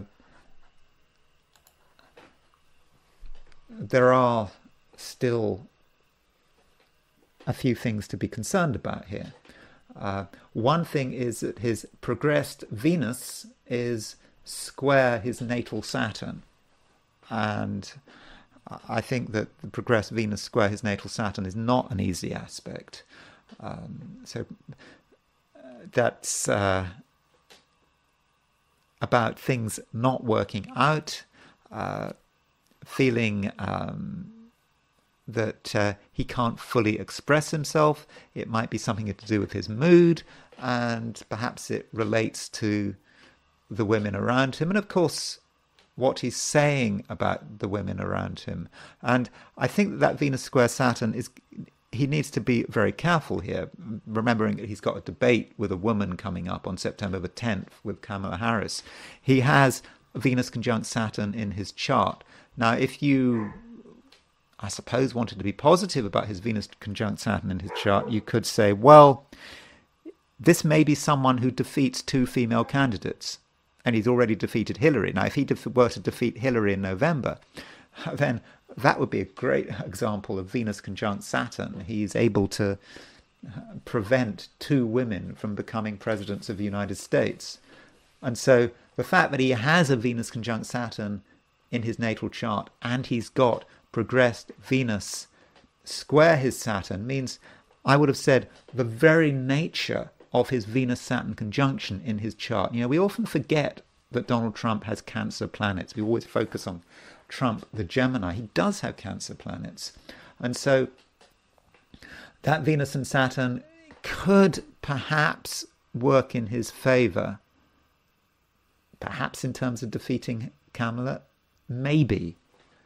Uh, and maybe, you know, I suppose if I was advising Trump, I would I would tell him to be careful, obviously, during that interview, but there might be a silver lining there, but I'm not sure. I don't think you can sort of take that for granted.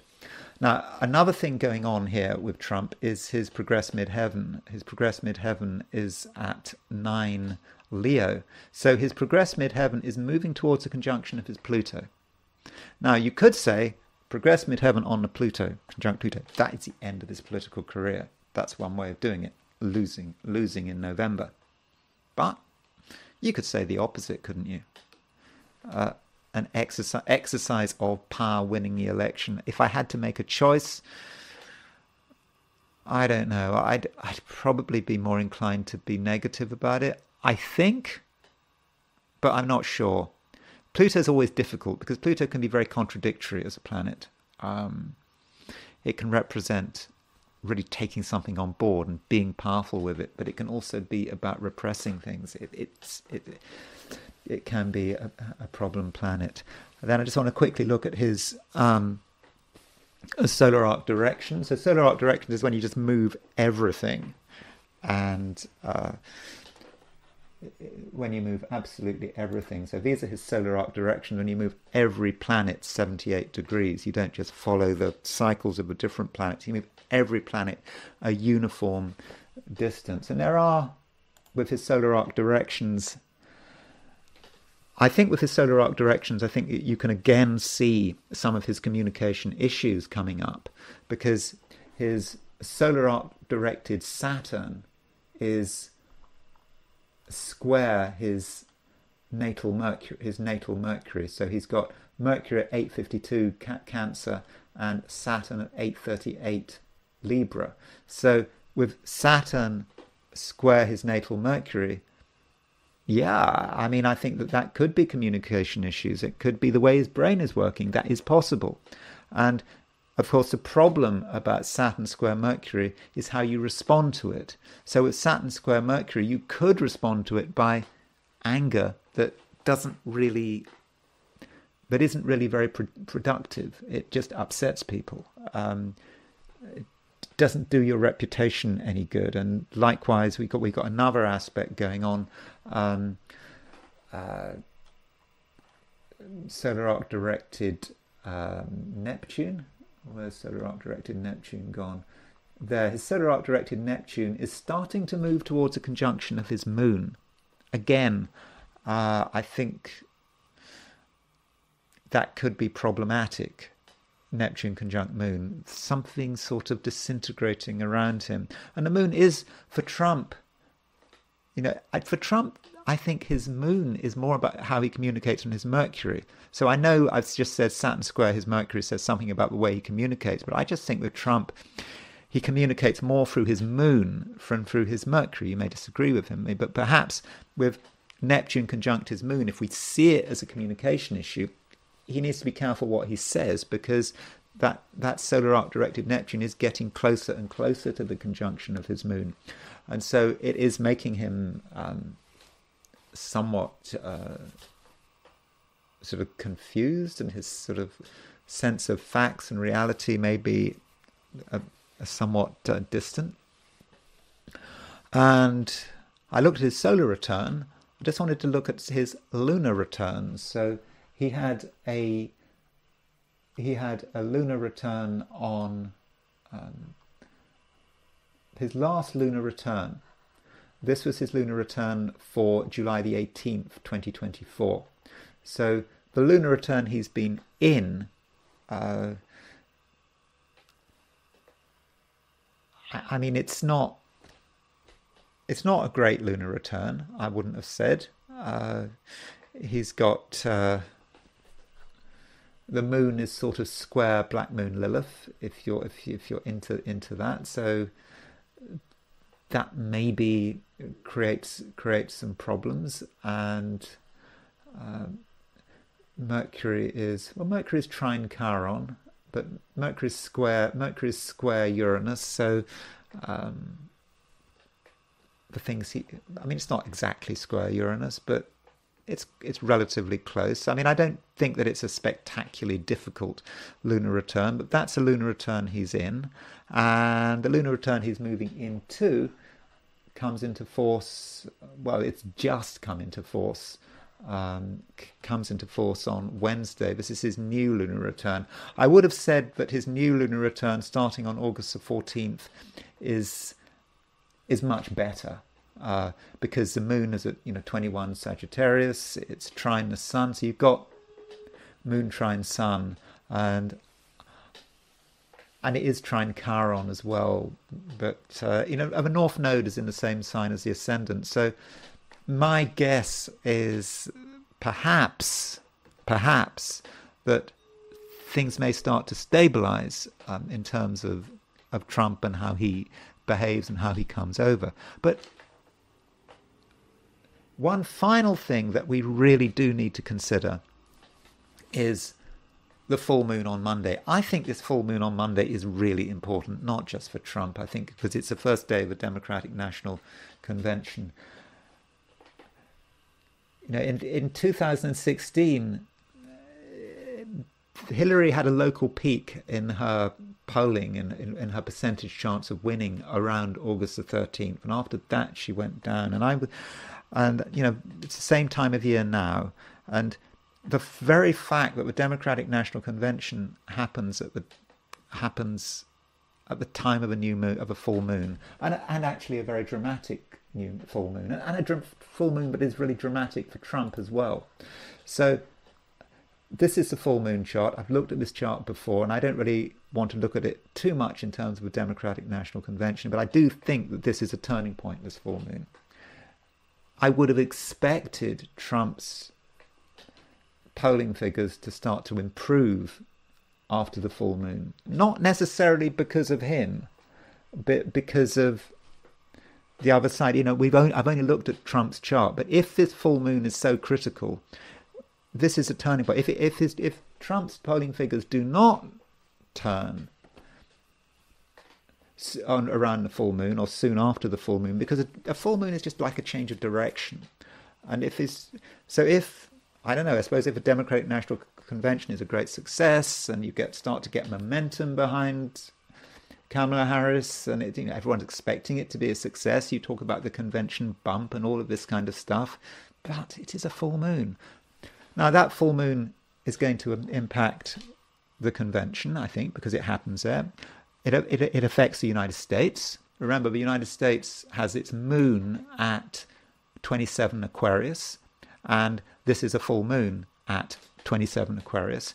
And of course, this full moon affects Trump's chart. And uh, so here is Trump's chart. There is a full moon.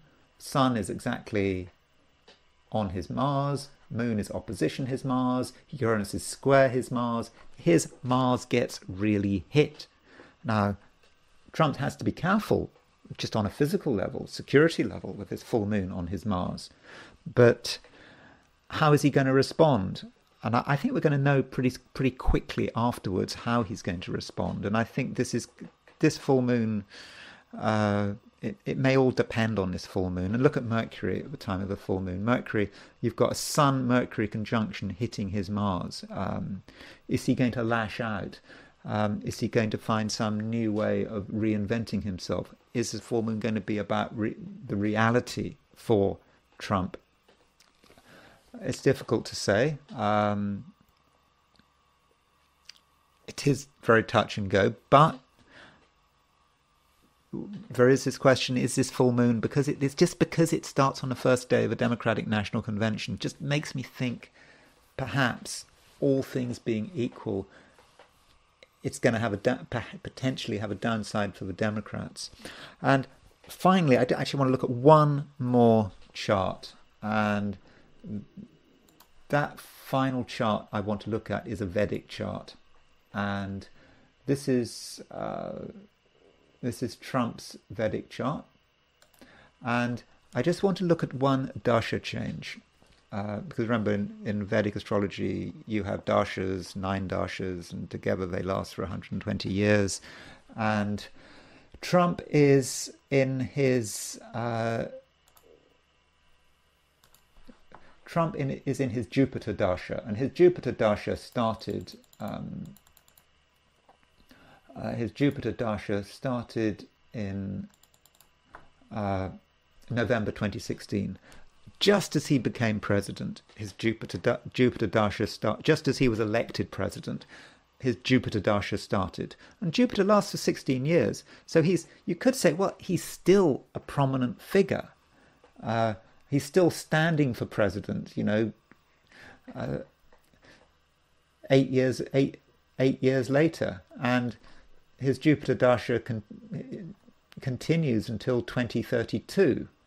And so Obviously, whatever happens, he's not going to be president by then. But it's the subdashas that I'm thinking about now. At the moment, since October 20, you from October 2023 until September, end of September 2024, he's in the Jupiter major dasha and the Ketu's north south node subdasha. And clearly, this has been a time of complete turmoil for Trump's highs and lows and assassination attempts and being convicted of things and uh, you know the drama with Elon Musk is all all part of it but it, it's coming to an end and it may very well be that what is key to whether or not Trump is going to win win the election is what happens when he moves into his Jupiter major dasha and Venus sub dasha. and that happens on September the 27th, 2024. And his Venus is quite strong by Shad Bala. Uh, his Venus rules his 10th house, because remember, this is the first house. So, so that's good with Venus, but the trouble is Venus is in the 12th house and it is conjunct Saturn. So you could say that that Venus conjunct Saturn is just not good being in the 12th, and that you would then expect things to fall apart for Trump very soon as he moves into um, into late, uh, you know, as as September turns to October. That that is one possibility, but you know, Hindu astrology has got all sorts of complications and exceptions, and there's all sorts of stuff going on. And you might argue that, well, Venus and Jupiter are in Cancer, and the exaltation ruler of Cancer is Jupiter, and Jupiter is the ruler of the larger sub period. And so maybe there's um, uh, some mitigation there. But you know, I would be interested if you're into Vedic astrology. What do you, what do you actually make of that Venus Saturn, uh, that Venus Venus Saturn subdasha? you know, I use Vedic astrology, but I would not have said that I was an expert on Vedic astrology. But if you happen to be an expert on Vedic astrology, or you you think you you have some insights on that, I would be really interested because I've been thinking about it a lot, and uh, I suppose my inclination would be to see it in a negative light, even though Venus is ruler of the tenth. But there just might be some exception. Um, and also, I have to say that you cannot predict the result of an election just on the basis of a natal chart. I do not think that's possible because there are too many problems with that. Okay, so those are a few thoughts about Trump's chart. I've I've been negative here um, because I just wanted to look at Trump. By and large, I've tried to look at chart, Trump's chart in a negative sense and um, looking at all the reasons why things might be going wrong for him. But I do think that as we hit this full moon uh, next week, I think we're going to start to get a, get the bigger picture, not just after the full moon, but from in the following fortnight. Um, in end of September, I suppose, through until what is it, um, Labor Day. See see how the late August works and see how the polls work because I think um, I would have. There may be a change, and also we have to remember that this Mars Saturn square uh, on Friday it does hit Kamala Harris quite seriously. Her Venus gets really mangled by that Mars Saturn square. So yeah, the next uh, next week could be very interesting. Okay, right. Thank you very much for listening to me. Um, if you enjoyed this video, I'd be very grateful if you were to indicate that you liked the video. If you're not subscribed and you enjoyed the video, I mean, surely you enjoyed the video if you if you got this far. Um, I'd be very grateful if you were to subscribe because it doesn't cost you anything, but it does make a big difference. And uh, yeah, if you want to buy me a coffee, there is a link in the description. So thanks again for listening, and I will talk to you again tomorrow.